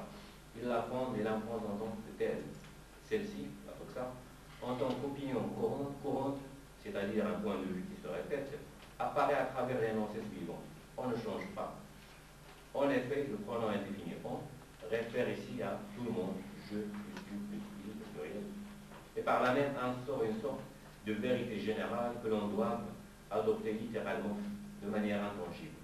Or, cette idée absolue d'immobilité ou de figement se situe en porte-à-faux par rapport au contenu de la doctrine communiste à laquelle avait adhéré l'inculpé et qui, de par son ancrage sur la philosophie marxienne, assigne une place centrale à l'histoire. Cette dernière, l'histoire, on le sait, étant une succession de modes de production surdéterminé par le principe de la négativité. Si l'interrogateur prend la tautologie, c'est qu'il s'efforce de saper et démonter implicitement le communisme à travers un de ses fondements essentiels, essentiels de matérialisme historique. Or, ce faisant, il désigne de son propre droit et de surcroît à son insu le caractère anti-historique de l'idéologie dont il se réclame. Il est pris au filet de ses propres mots. En somme, le discours tautologique se trahit et dévoile son incapacité de cerner le réel basé, lui, sur la complexité dialectique. La sanction, au sens sûr. Une fois l'interrogatoire terminé, ou plutôt interrompu, la phase narrative de la sanction est mise en place à travers les propos suivants. Tu es libre. Nous avons enquêté et nous savons que tu es un brave homme. Mais attention, ne raconte à personne ce que tu as vu ici. Parcours immobilier, page 24. Or, après l'inculpé est-il sanctionné, son objet de sanction étant la liberté, il reçoit une autre manipulation. Si nous obtient l'épreuve de la manipulation selon le parler, ou prescription, parole, il subit un second faire manipulatoire, cette fois-ci, suivant le devoir de ne pas parler ou interdiction. Ensemble, de liberté, il n'y aurait pas.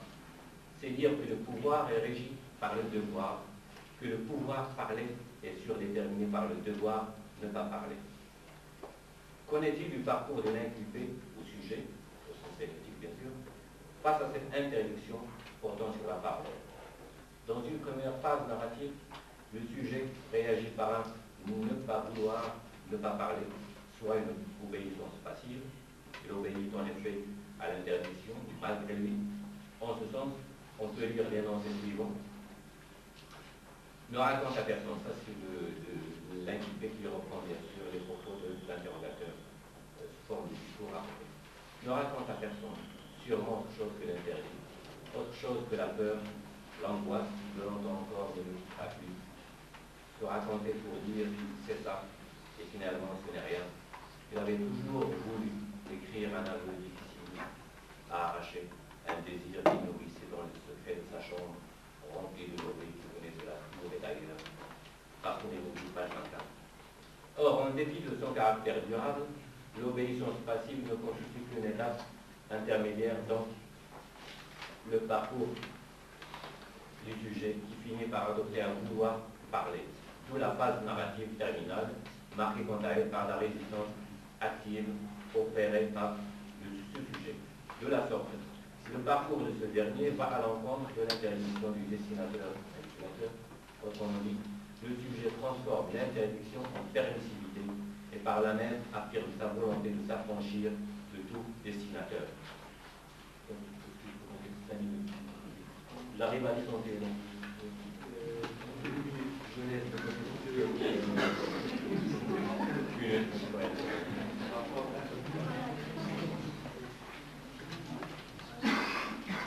euh, connaît-il bien sûr du, de ce schéma, bien sûr, du carré alimentatif On peut les investir euh, par les contenus sémantiques suivants. Donc, P sera, tu es libre. Q sera, ne raconte à personne. Conclusion R sera bien. Tu peux dire ce que tu veux.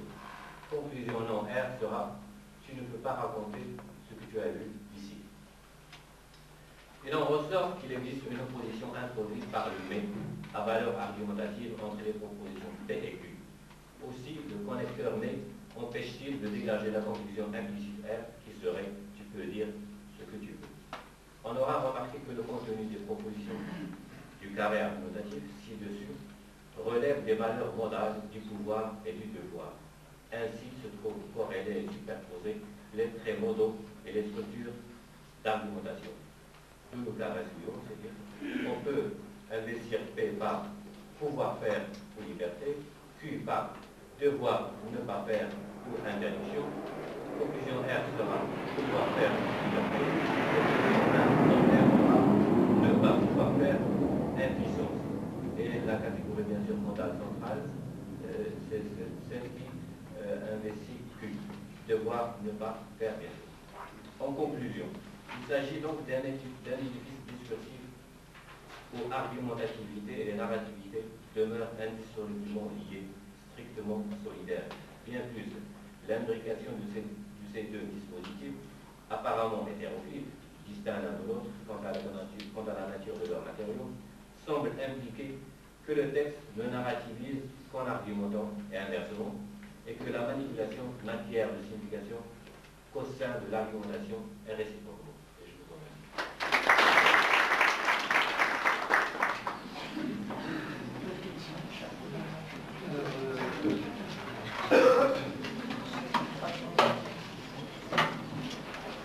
Mademoiselle Yatsribi Karima de la faculté d'élèves de elle fera euh, une dernière intervention dans la communication. Elle traitera euh, en particulier de la situation narrative de certains récits euh, maghrébins de langue française. Et elle étudiera peut-être aussi les effets que ce type de, de texte peuvent avoir sur le lecteur.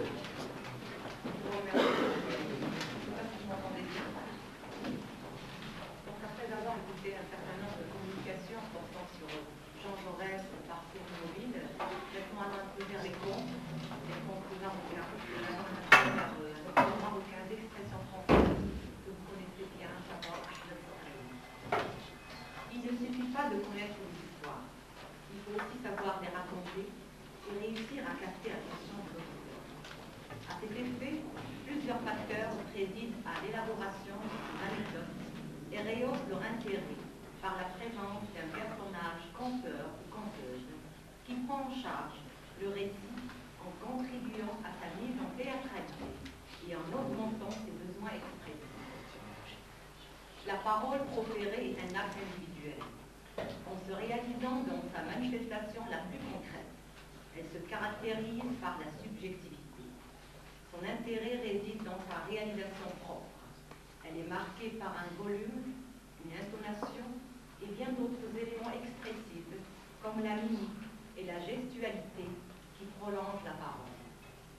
Dans l'œuvre d'Ahmed Sfrewi, il existe une volonté de personnaliser la récitation des textes et d'authentifier la valeur en les attribuant soit à des professionnels, comme l'exemple de Muki, l'aveugle, soit à des amateurs, tels que nous les rencontrons dans la boîte à merveilles, la maison de servitude et le chapelet d'ombre. Comme, par exemple, la mère du narrateur, les voisines, du côté masculin sont présents des personnages, tels que le père du narrateur, Abdullah l'épicier, Sidi Arafi l'aveugle. Le conteur devient l'individu que nous percevons aisément à partir de lui et la vue, la voix et le geste. À ce sujet, Ahmed Sfrewi nous révèle, Mon ambition était de devenir populaire. Je me suis tournée vers la langue française où j'avais des possibilités pour matérialiser mon ambition et faire revivre cette poésie populaire. Mais il y avait une autre préoccupation, celle de répondre par souci d'exactitude et d'authentifier les images déformées que les écrivains français donnaient de notre société. Par là, il s'agissait pour moi, comme pour les écrivains de ma génération, d'affirmer notre identité nationale. Il est évident que dans de telles situations, Ahmed Sfrewi a exploité les données de la Hita. Cette notion signifie littéralement le cercle qui se forme autour d'un conte, en tant que spectacle, mais aussi en tant qu'espace où se déroule le conte. La communication verbale peut jaillir soit d'un espace clos, patio de la maison, devient par exemple une place destinée à l'écoute des récits, comme nous allons le voir dans la boîte à merveille, soit d'un espace ouvert, le euh, l'espace public, donc, lui attribuant ainsi la, dynamique de la situation orale. Dans les deux cas, le texte devient lui-même un espace culturel authentique, où foisonne un ensemble de micro-récits et des contes proprement. La personnalité du conteur, qui soit le héros, le témoin dépositaire du conte, est perçue à travers ce qu'il rapporte. Sans être un professionnel, le conte, quand c'est le cas dans la boîte à merveille, inspire le respect pour le personnage narrateur. Mohamed, qui reconnaît sa supériorité en art de dire. La parole fonde la hiérarchie sociale en octroyant le privilège d'utiliser un certain discours par une élite qui conserve la tradition, les valeurs et les acquis culturels d'une société. Dans tous les cas, la présence du conteur est massive dans les textes dont la caractéristique est l'insistance sur une forme d'oralité argumentée que nous n'envisageons pas ici comme un thème parmi les autres, mais comme le moteur d'une certaine énonciation qui ne se réduit pas à l'action de la voix, mais qui implique tout ce qui en nous s'adresse à l'autre. Un geste, une mimique, bref, tout ce qui relève du mime. Dans la boîte à merveilles, nous sommes en présence d'un récit dont le personnage principal est l'élève Zoubida, la mère du narrateur. Celle-ci, présentée comme le protagoniste essentiel du roman, joue à merveille le rôle du conteur.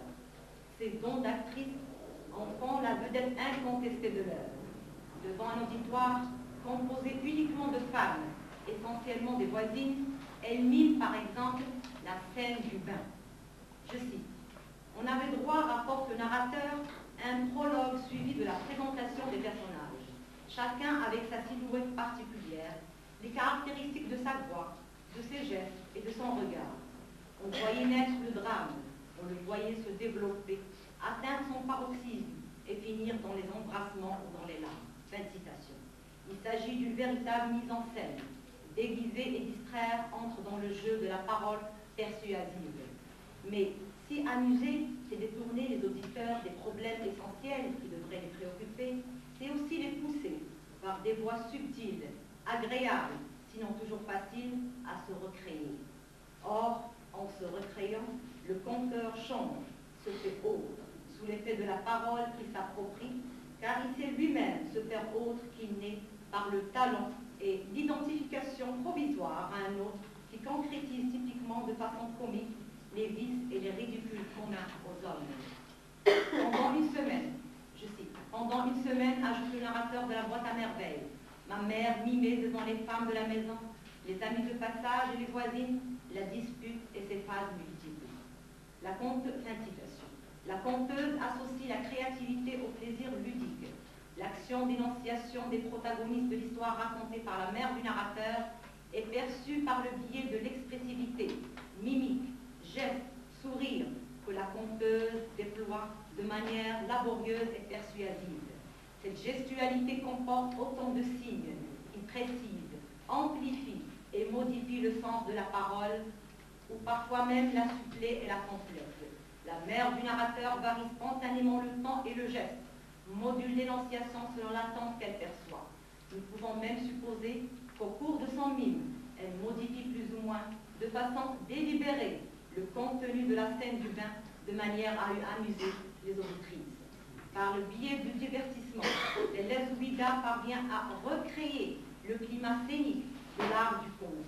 L'extrême mobilité de la conteuse, gestes et mimiques accentue le caractère théâtral de la scène. Finalement, le geste ne transcrit rien, mais prolonge et souligne le mouvement. Il double la parole, la Zulida et fournit à ses auditrices des informations trahissant peut-être certains souvent en évitant le discours direct. Le personnage narrateur Mohammed, qui rapporte la scène vécue, se donne les moyens de signaler non seulement ce dont il fut témoin, mais il restitue aussi toute la réalité de l'anecdote en précisant ses diverses étapes. Prologue, scène, fin heureuse. Il insuffle ainsi à ses propos une sorte de vie. La fiction, construite à partir de certains nombres de, données réelles, devient plus palpitante et plus captivante. je cite, ma mère, souligne le narrateur, remportait auprès de ses voisines un gros succès. Elle déploie un certain nombre de gestes qu'elle associe aux expressions du visage et aux intonations de la voix, ainsi qu'à divers autres procédés paralinguistiques qui relèvent justement du style oral et qui supplient les informations du texte en apportant des renseignements sur l'attitude psychologique de ces personnages et sur les circonstances précises dans lesquelles elles s'inscrivent. À ce sujet, Camille Lacoste du Jardin signale, je cite, Il y a dans l'art du conte toute une partie du mime, de comédie extrêmement importante, dont la fonction est éminemment esthétique et destinée à transmettre des émotions. Citation. En effet, procédés paralinguistiques remplissent deux fonctions. part, ils servent à donner de la vie au texte et à renforcer la réalité des événements relatés. Partant de là, ils contribuent à mobiliser l'attention des auditrices et à intensifier le plaisir. D'autre part, ils comblent certaines lacunes qui ne peuvent pas être remplies par le langage. Dans ce sens, ils apportent d'autres informations susceptibles d'enrichir la scène. Un autre exemple tiré de la boîte à merveille illustre, euh, illustre une certaine théâtralité. Il s'agit de l'histoire rapportée par Rahma et qui n'a pas d'importance en elle-même. Khadija, jeune femme dépensière et capricieuse, maltraite son pauvre époux. Ce qui importe de souligner, c'est le fait que les fréquentes pauses qui ponctuent le cours de l'histoire racontée permettent à la conteuse de se livrer à un certain nombre de gestes et de comportements qui expriment une extrême mobilité tout en aidant à mieux comprendre son récit qu'elle se veut persuasive. Cette stratégie théâtrale, loin de stopper la narration, la prolonge au contraire et augmente son intérêt dramatique.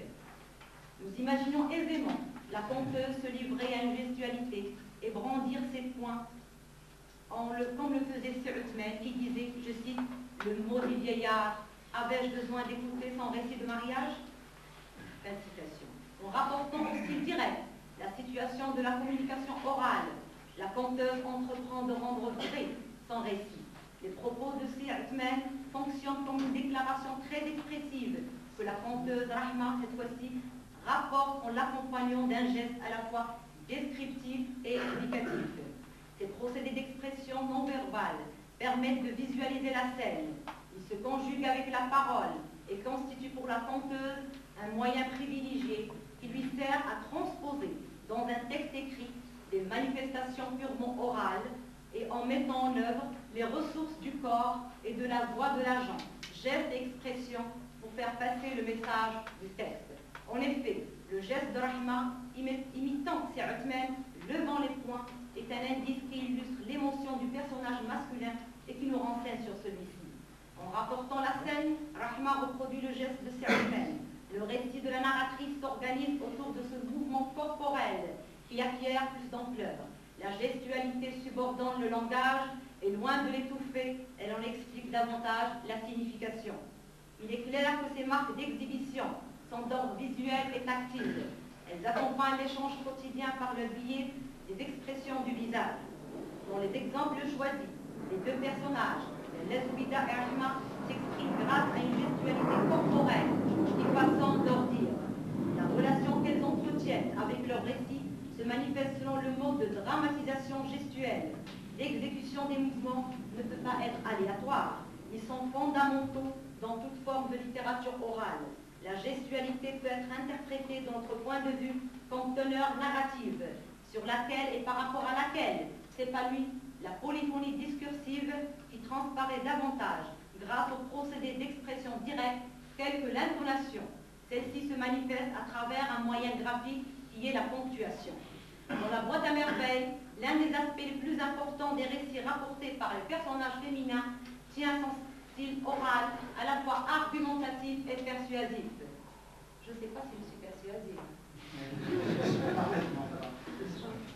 Les récits pris en charge par les personnages féminins se présentent comme des spectacles qui engendrent un ensemble de procédés d'expression dont la finalité n'est pas uniquement celle de décrire certaines situations, des scènes et des lieux sous forme de tableaux de la vie quotidienne. Il s'agit plutôt de rendre vrai des faits fictifs. Autrement dit, Ahmed Sfrewi met en évidence la primauté de l'esthétique du langage par l'utilisation d'un moyen expressif très révélateur, à savoir l'intonation, qui est le fondement du style oral, que nous définissons à la suite de Charles Bally, je cite, comme un procédé affectif qui permet aux sentiments et aux émotions de s'unir à l'expression des idées. Fin de citation. Il est clair que le sens ne provient pas uniquement des éléments lexicaux ou de la syntaxe. Il émane aussi de l'intonation et du rythme qui véhiculent des informations supplémentaires à celles de la simple énonciation. Le sens existe autant dans la forme que dans les mots, puisque forme et sens sont indissociables. Il constitue un tout qui doit être étudié dans sa globalité. Ainsi, retrouvons-nous dans la boîte à merveilles, et plus exactement dans le récit de la mère du narrateur, diverses nuances de l'expression rendues plus palpables grâce à l'emploi d'un certain nombre de ponctuations. Dans la présente communication, nous nous attacherons à l'étude de l'écriture comme lieu d'émotion, nous appuyant sur l'interrogation et l'exclamation qui assurent la primauté du style oral par rapport à l'écrit. L'interrogation, elle sous-tend la plupart des récits émis par les personnages féminins. Afin d'illustrer notre propos, nous avons choisi un exemple de la boîte à merveilles. Pour rapporter à son époux la mésaventure de Moulay Arbi et de son associé, la mère du narrateur rapporte calmement son récit, quand tout à coup survint un changement brutal. Je cite Sais-tu, s'exclame-t-elle, comment ce fils de péché l'a remercié de ses bienfaits? Mon père ne savait pas. Ma mère ne lui laissa d'ailleurs pas le temps de répondre. Elle continue en ces termes. Non, tu ne pouvais pas le deviner. Les gens qui n'ont plus de pudeur. La question posée par le personnage féminin ne correspond pas exactement à une demande de réponse. Elle est manifestement le symbole d'un mouvement affectif. Elle témoigne de la vivacité d'une parole laissant jaillir la passion qui anime la Lezoubida au moment où elle raconte l'histoire de Moulay Arabi. Ce trait expressif de l'intonation et l'interrogation est l'une des caractéristiques du style oral. Le souci d'expressivité échappe à l'écrit et témoigne de l'émotion parvenue à un degré où le discours du personnage féminin bascule alors dans le verbal. Aussi, l'intonation interrogative permet-elle de traduire les pensées vives qui animent les lettres au moment où elle rapporte son récit. L'intonation interrogative est considérée comme un moyen permettant l'expression des sentiments, il existe une autre marque graphique qui manifeste à son tour le tumulte verbal caractérisant le discours des personnages féminins de Sfreoui. Il s'agit de l'exclamation. À la fois parlée et intonée, les phrases exclamatives résultent d'une prononciation expressive. Elles sont vidées de leur contenu cognitif pour adopter un contenu affectif chargé de rendre ascendant le mouvement du récit. Celui-ci se développe, se dramatise et atteint le paroxysme, comme le démontre l'exemple de Ouida qui s'écrit après avoir raconté très calmement à son époux l'histoire de Arbi avec son associé. Je cite Non, tu ne pourras jamais le deviner. Quelle époque Il n'y a plus de justice. Fin de citation. Nous décelons à cet égard le changement du registre verbal, qui s'est effectué de manière progressive, allant d'une présentation banale des faits à un dénouement des plus dramatiques. En effet, les modulations sont rendues très frappantes grâce à ces deux procédés que sont l'interrogation et l'exclamation. Le récit allie dans une parfaite symbiose les diverses nuances de l'expression. Aussi, l'intérêt dramatique de la dispute de Moulay Arabi avec son associé ne provient-il pas uniquement du, du conflit qui oppose les deux hommes, mais s'élance aussi à travers les divers moyens mis en évidence par la narratrice en vue de rendre son récit plus vrai, plus saisissant et plus persuasif. Elle a réussi à restituer l'image de l'événement et à le rendre vivace. À cet effet, la forme de son récit mime la parole dite, puisque l'exclamation participe directement à l'élaboration de la signification de la parole.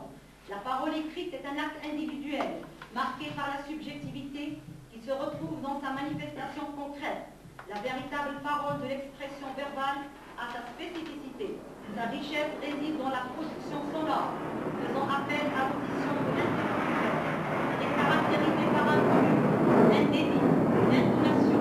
Elle est en outre accompagnée de la mimique expressive et du geste du sujet parlant. À propos de débit, il est à préciser qu'à l'opposé de l'écrit, l'oral, ou plutôt le style oral, permet de faire observer le discours en train de se réaliser. Le débit varie en fonction de, certaines intentions. En le présentant comme modèle parfait de la production verbale, nous nous attachons à l'étude des divers qui, relèvent d'une situation discursive en train de se dire, d'où la présence des propos inachevés. Ces derniers sont marqués par l'utilisation des points de suspension qui mettent en situation le personnage féminin en proie à ses souvenirs essayons de se rappeler avec exactitude d'un certain nombre d'éléments qui semblent lui échapper afin de mieux argumenter. Dans le chapitre donc, par exemple, la mère du narrateur énumère à son fils les biens du jeune marié. Elle cite, euh, je cite plutôt. Tu connais Sidi El le fils du barbier. Personne ne soupçonnait ses parents d'être si fortunés. Il possède la totalité de la maison de Botoué, les trois huitièmes d'un réal à Rasjnen, etc. Le signe graphique, les points de suspension, annonce d'emblée que la narratrice animée par le désir d'être exact et soucieuse de rapporter un récit sans faille, marque un arrêt pour solliciter des renseignements à sa voisine du palier. Les trois points de suspension signifient qu'il y a un silence qui peut être considéré comme une opération discursive, consciente, se manifestant dans le texte et se référant directement à l'énonciation. Chez Sprewi, l'écriture en quatre et dans son essence, franche l'oral. Elle procède par le silence que signale la graphie. Un autre exemple met en relief ce procédé. Il s'agit du récit de l'élève qui raconte, je cite, Moulay al le mari de l'élève Aïcha, s'est disputé avec son associé, un certain Abdelkader, fils, fils de je ne sais qui. Point de suspension. Les mots se juxtaposent, beaucoup plus qu'ils ne s'articulent. Tout ceci concourt à donner l'image d'un texte elliptique qui semble se focaliser sur les éléments les plus importants du récit. Les indices, que sont les points de suspension, marquent une autre finalité. Le silence de la narratrice lui permet non seulement de reprendre haleine, mais de marquer son indifférence vis-à-vis du personnage dont elle n'a pas jugé bon de retenir le nom. Étant le lieu d'une écriture chargée émotionnellement, les exemples choisis remplissent une fonction intensive. L'intonation, figurée par l'exclamation et l'interrogation, produit le sens puisqu'elle constitue un élément fondamental de la signifiance. Grâce à l'intonation, l'écrit se charge du corps et du forme que les mots adoptent, quand plus, plus que leur sens linguistique. Aussi, l'intonation participe-t-elle à la charge sensorielle et émotive qui humanise et rend plus sensible la perception du message? Les propos des personnages féminins deviennent l'espace d'une tension et constituent une sorte de martèlement sonore qui concourt à la poussée émotive. C'est dans ce sens que l'oralité n'est pas uniquement le parler, mais le primat du rythme dans le discours. On me demande de conclure, alors je suis obligée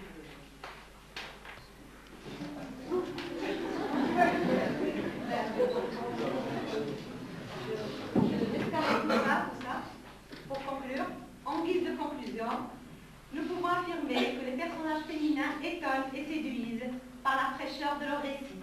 La multiplicité de détails octroie à leurs évocations la faveur du vécu et concourt à donner à leur récit, à leur texte argumenté, un cachet vraisemblable. L'intervention de la conteuse démontre qu'elle est loin d'être indifférente au récit qu'elle profère. Elle semble habitée par celui-ci au point de ressentir à nouveau, dans toute son ampleur, toutes les émotions qui firent naître en elle les événements vécus. La force du souvenir actuel permet d'authentifier le récit. Au goût très vif du détail s'ajoute une fidélité et une sincérité qui confèrent au récit féminin une dimension réaliste. Les divers exemples démontrent que la relation émotionnelle s'établit entre la conteuse et ses auditrices.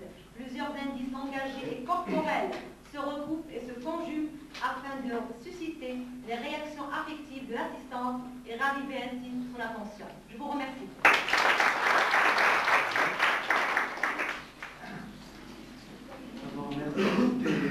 C'était assez riche, assez séduisant. Alors, euh, bon, il y a beaucoup d'éléments euh, intéressants euh, qui ont été mis en valeur. par exemple, la présence constante du conteur dans l'œuvre de, de la dimension orale de notre culture et ce souci de transmettre des, émotions, de, faire naître certains sentiments. Il s'agit bien sûr toujours de, toucher. et puis un autre aspect que je trouve particulièrement important, c'est celui des gestes, hein, des gestes qui ont valeur euh, particulière. Euh, comme nous le savons tous, déjà euh, dans l'Antiquité, les rhéteurs suivaient des, cours dans des, instituts de, théâtre, parce qu'ils devaient effectuer des gestes assez précis, toujours en vue de convaincre l'auditoire, en vue de, convaincre le public. voilà, il est déjà moins 7 minutes. J'espérais finir à midi. Alors, euh, on peut commencer euh, le, débat et euh, il faudrait peut-être essayer de finir à, midi et quart. Hein. midi et quart, midi, midi Bon, alors, une première liste d'intervenants, si vous voulez. Donc, plus.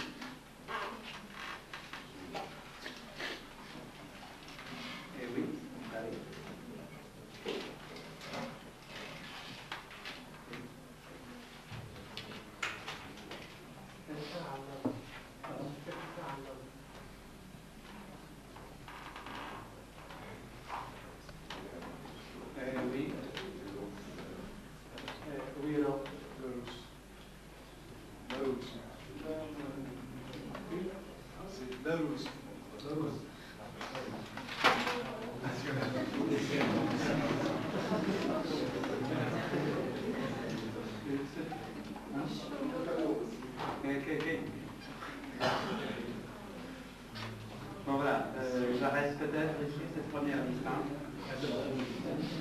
Oui, alors euh, soyons donc euh, euh, brefs. Hein soyons donc brefs pour gagner, gagner du temps. hein. Alors, euh, le- Euh, je me suis précipité là de lever la main parce que je voulais euh, enchaîner sur euh, la dernière intervention que je trouve euh, vraiment fort im- importante, tout au moins pour moi, parce que euh, bon, toutes les interventions sont très importantes, très intéressantes, mais le corpus était inhérent à chaque fois à un texte écrit. Voilà, Celui-là aussi l'est, mais à moitié. hein, c'est un texte hybride, plutôt à mon sens, moi je le considère comme une du texte oral. Voilà, donc ce- parce que moi je travaille sur le, texte oral et euh, effectivement euh, euh, j'analyse le comportement et verbal et non verbal et paraverbal et euh, je considère que pour communiquer, on ne peut pas communiquer qu'avec un seul, euh, une seule composante de ces trois-là, Euh, sinon euh, la communication va être mu- mutilée quelque part et et à propos des communications, je suis étonné que argumentation et persuasion s'insèrent dans, euh, sous un chapeau qu'on pourrait appeler communication. Parce qu'en communiquant, on argumente. Et à la limite, il y a une relation dialectique entre argumentation et persuasion, et dans un sens euh, pragmatique. Le locuteur et l'argument, dans une visée euh, précise, c'est de persuader l'interlocuteur. Hein en termes austiniens, on peut dire que l'argu- argumenter c'est un acte persuader c'est un acte c'est l'interlocuteur qui va effectivement être persuadé d'eux ou non. L'argumentation en argument, et puis la balle est dans l'autre camp, on va voir si ça va marcher ou non. En argumentant, on n'est pas toujours sûr de persuader. Et en plus de ça, on n'argumente pas que pour, pour persuader, mais aussi pour dissuader chose normalement qu'il fallait, je crois, euh, euh, souligner. Cela dit, donc, euh, je suis aussi euh, dans la même lignée de, la théorie apportée par euh, Sabah euh, en disant que la rhétorique, parce qu'en général, même chez nos camarades euh, arabisants et tout, à chaque fois, euh, la rhétorique était dans un sens, euh, Ducrot parle de ça, euh, c'est quelque chose de plus qui est apporté à la langue. Alors qu'il y a aussi une autre rhétorique argumentative qui émane de, de la langue. Donc les connecteurs pragmatiques et tout ce bagage linguistique, il est là. On n'a pas besoin du- de, l'ironie ou de la litote ou d'autres choses pour argumenter. Il suffit hein, d'utiliser donc euh, un mais ou un or pour euh, assurer cette relation donc euh, argument-conclusion. Bien, donc l'aspect, pour revenir à la dernière intervention, effectivement, il fallait peut-être juste insérer l'aspect euh, non-verbal dans une quelconque méthodologie travail, parce que effectivement, il y a l'accentuation, il y a chez les, les- les ethnométhodologues, ils travaillent euh, sur le débit- la rapidité du débit verbal pour argumenter. La pause dont vous avez parlé, ça peut aussi, parce que la pause, ça veut dire quoi? Ça veut le silence. La le silence, c'est aussi un moyen de communication. On communique aussi avec le. on, euh, voilà. Donc, il y a, euh, dans ce sens du jour, il y a l'autoreprise, que Msila elle a appelé la tautologie. Hein? Donc le discours tautologique, on peut l'autoreprise, l'autoreformulation, etc., etc. Donc tout ça, ça peut être un appareillage euh, qui sert donc à argumenter sur un plan formel, sans, encore une fois je le dis, avoir euh, besoin d'une quelconque image rhétorique dans le sens classique du terme. Euh, ça va. Il a dit euh, tout à l'heure que bon, il s'est arrêté, bon moi je, je suis resté sur ma soie, et il a parlé de la- l'acte de langage quant à sa relation avec l'intervention et l'intervention quant à sa relation avec l'échange. Hein? On peut peut aller un petit peu plus loin. L'échange aussi, c'est une sous-composante de la séquence, et la séquence de la rencontre dans le sens goffmanien du terme. Hein. Et la, rencontre, c'est le texte, hein, du début jusqu'à euh, la fin, et comme ça, on aura donc une, vision globale euh, du, texte. Et voir encore une fois l'argumentation euh, sous différents angles quand on choisit cette perspective de recherche, parce que vous avez parlé de euh, l'acte secondaire par rapport à l'acte principal. Donc la magie et le génie du locuteur, c'est dans une perspective idéaliste, classique, parce que là aussi, il faudra savoir où on se situe. Est-ce qu'on est dans une vision normative? Voilà ce qu'il faut. Ou plutôt, euh, donc euh, moi, la, perspective que j'ai choisie, une, vision empiriste. Voilà ce qui est. Hein, et puis après, peut-être qu'on en tire des, théories. Hein, parce que, en général, la, relation entre acte euh, principal et acte secondaire, normalement, l'argument, c'est l'acte principal.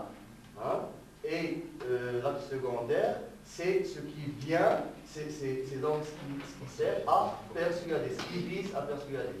Je veux ceci, ça c'est un acte qui marque la demande, un acte de hein, je veux ceci, mais public par exemple, entre guillemets, ça c'est un, un acte secondaire qui, paradoxalement, l'acte secondaire c'est lui qui est le plus important par rapport à l'acte euh, principal. Voilà, donc il fallait crois, aller un petit peu en profondeur dans cette perspective. Et j'ai bon, voilà.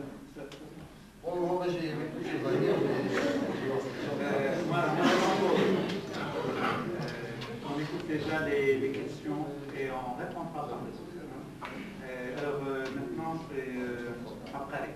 Oui, moi, très brièvement, j'ai trois remarques à propos de l'intervention du je trouve extrêmement intéressant, c'est très très subtil. Et pour la première fois, j'entends donc un travail de fait avec beaucoup de précision sur le problème des deux Et euh, franchement, personnellement, depuis, euh, depuis euh, quelques années, je travaillais sur l'argumentation. C'est un domaine que j'ai pas beaucoup de courage à aborder, tout d'ailleurs comme dans Et ce, vous avez soulevé comme remarque me réconforte dans la proposition que j'avais faite hier, en ce sens qu'il faut établir le pont entre les travaux de la linguistique et de la rhétorique pour pouvoir cerner davantage, je ne sais pas, la problématique de, l'argumentation.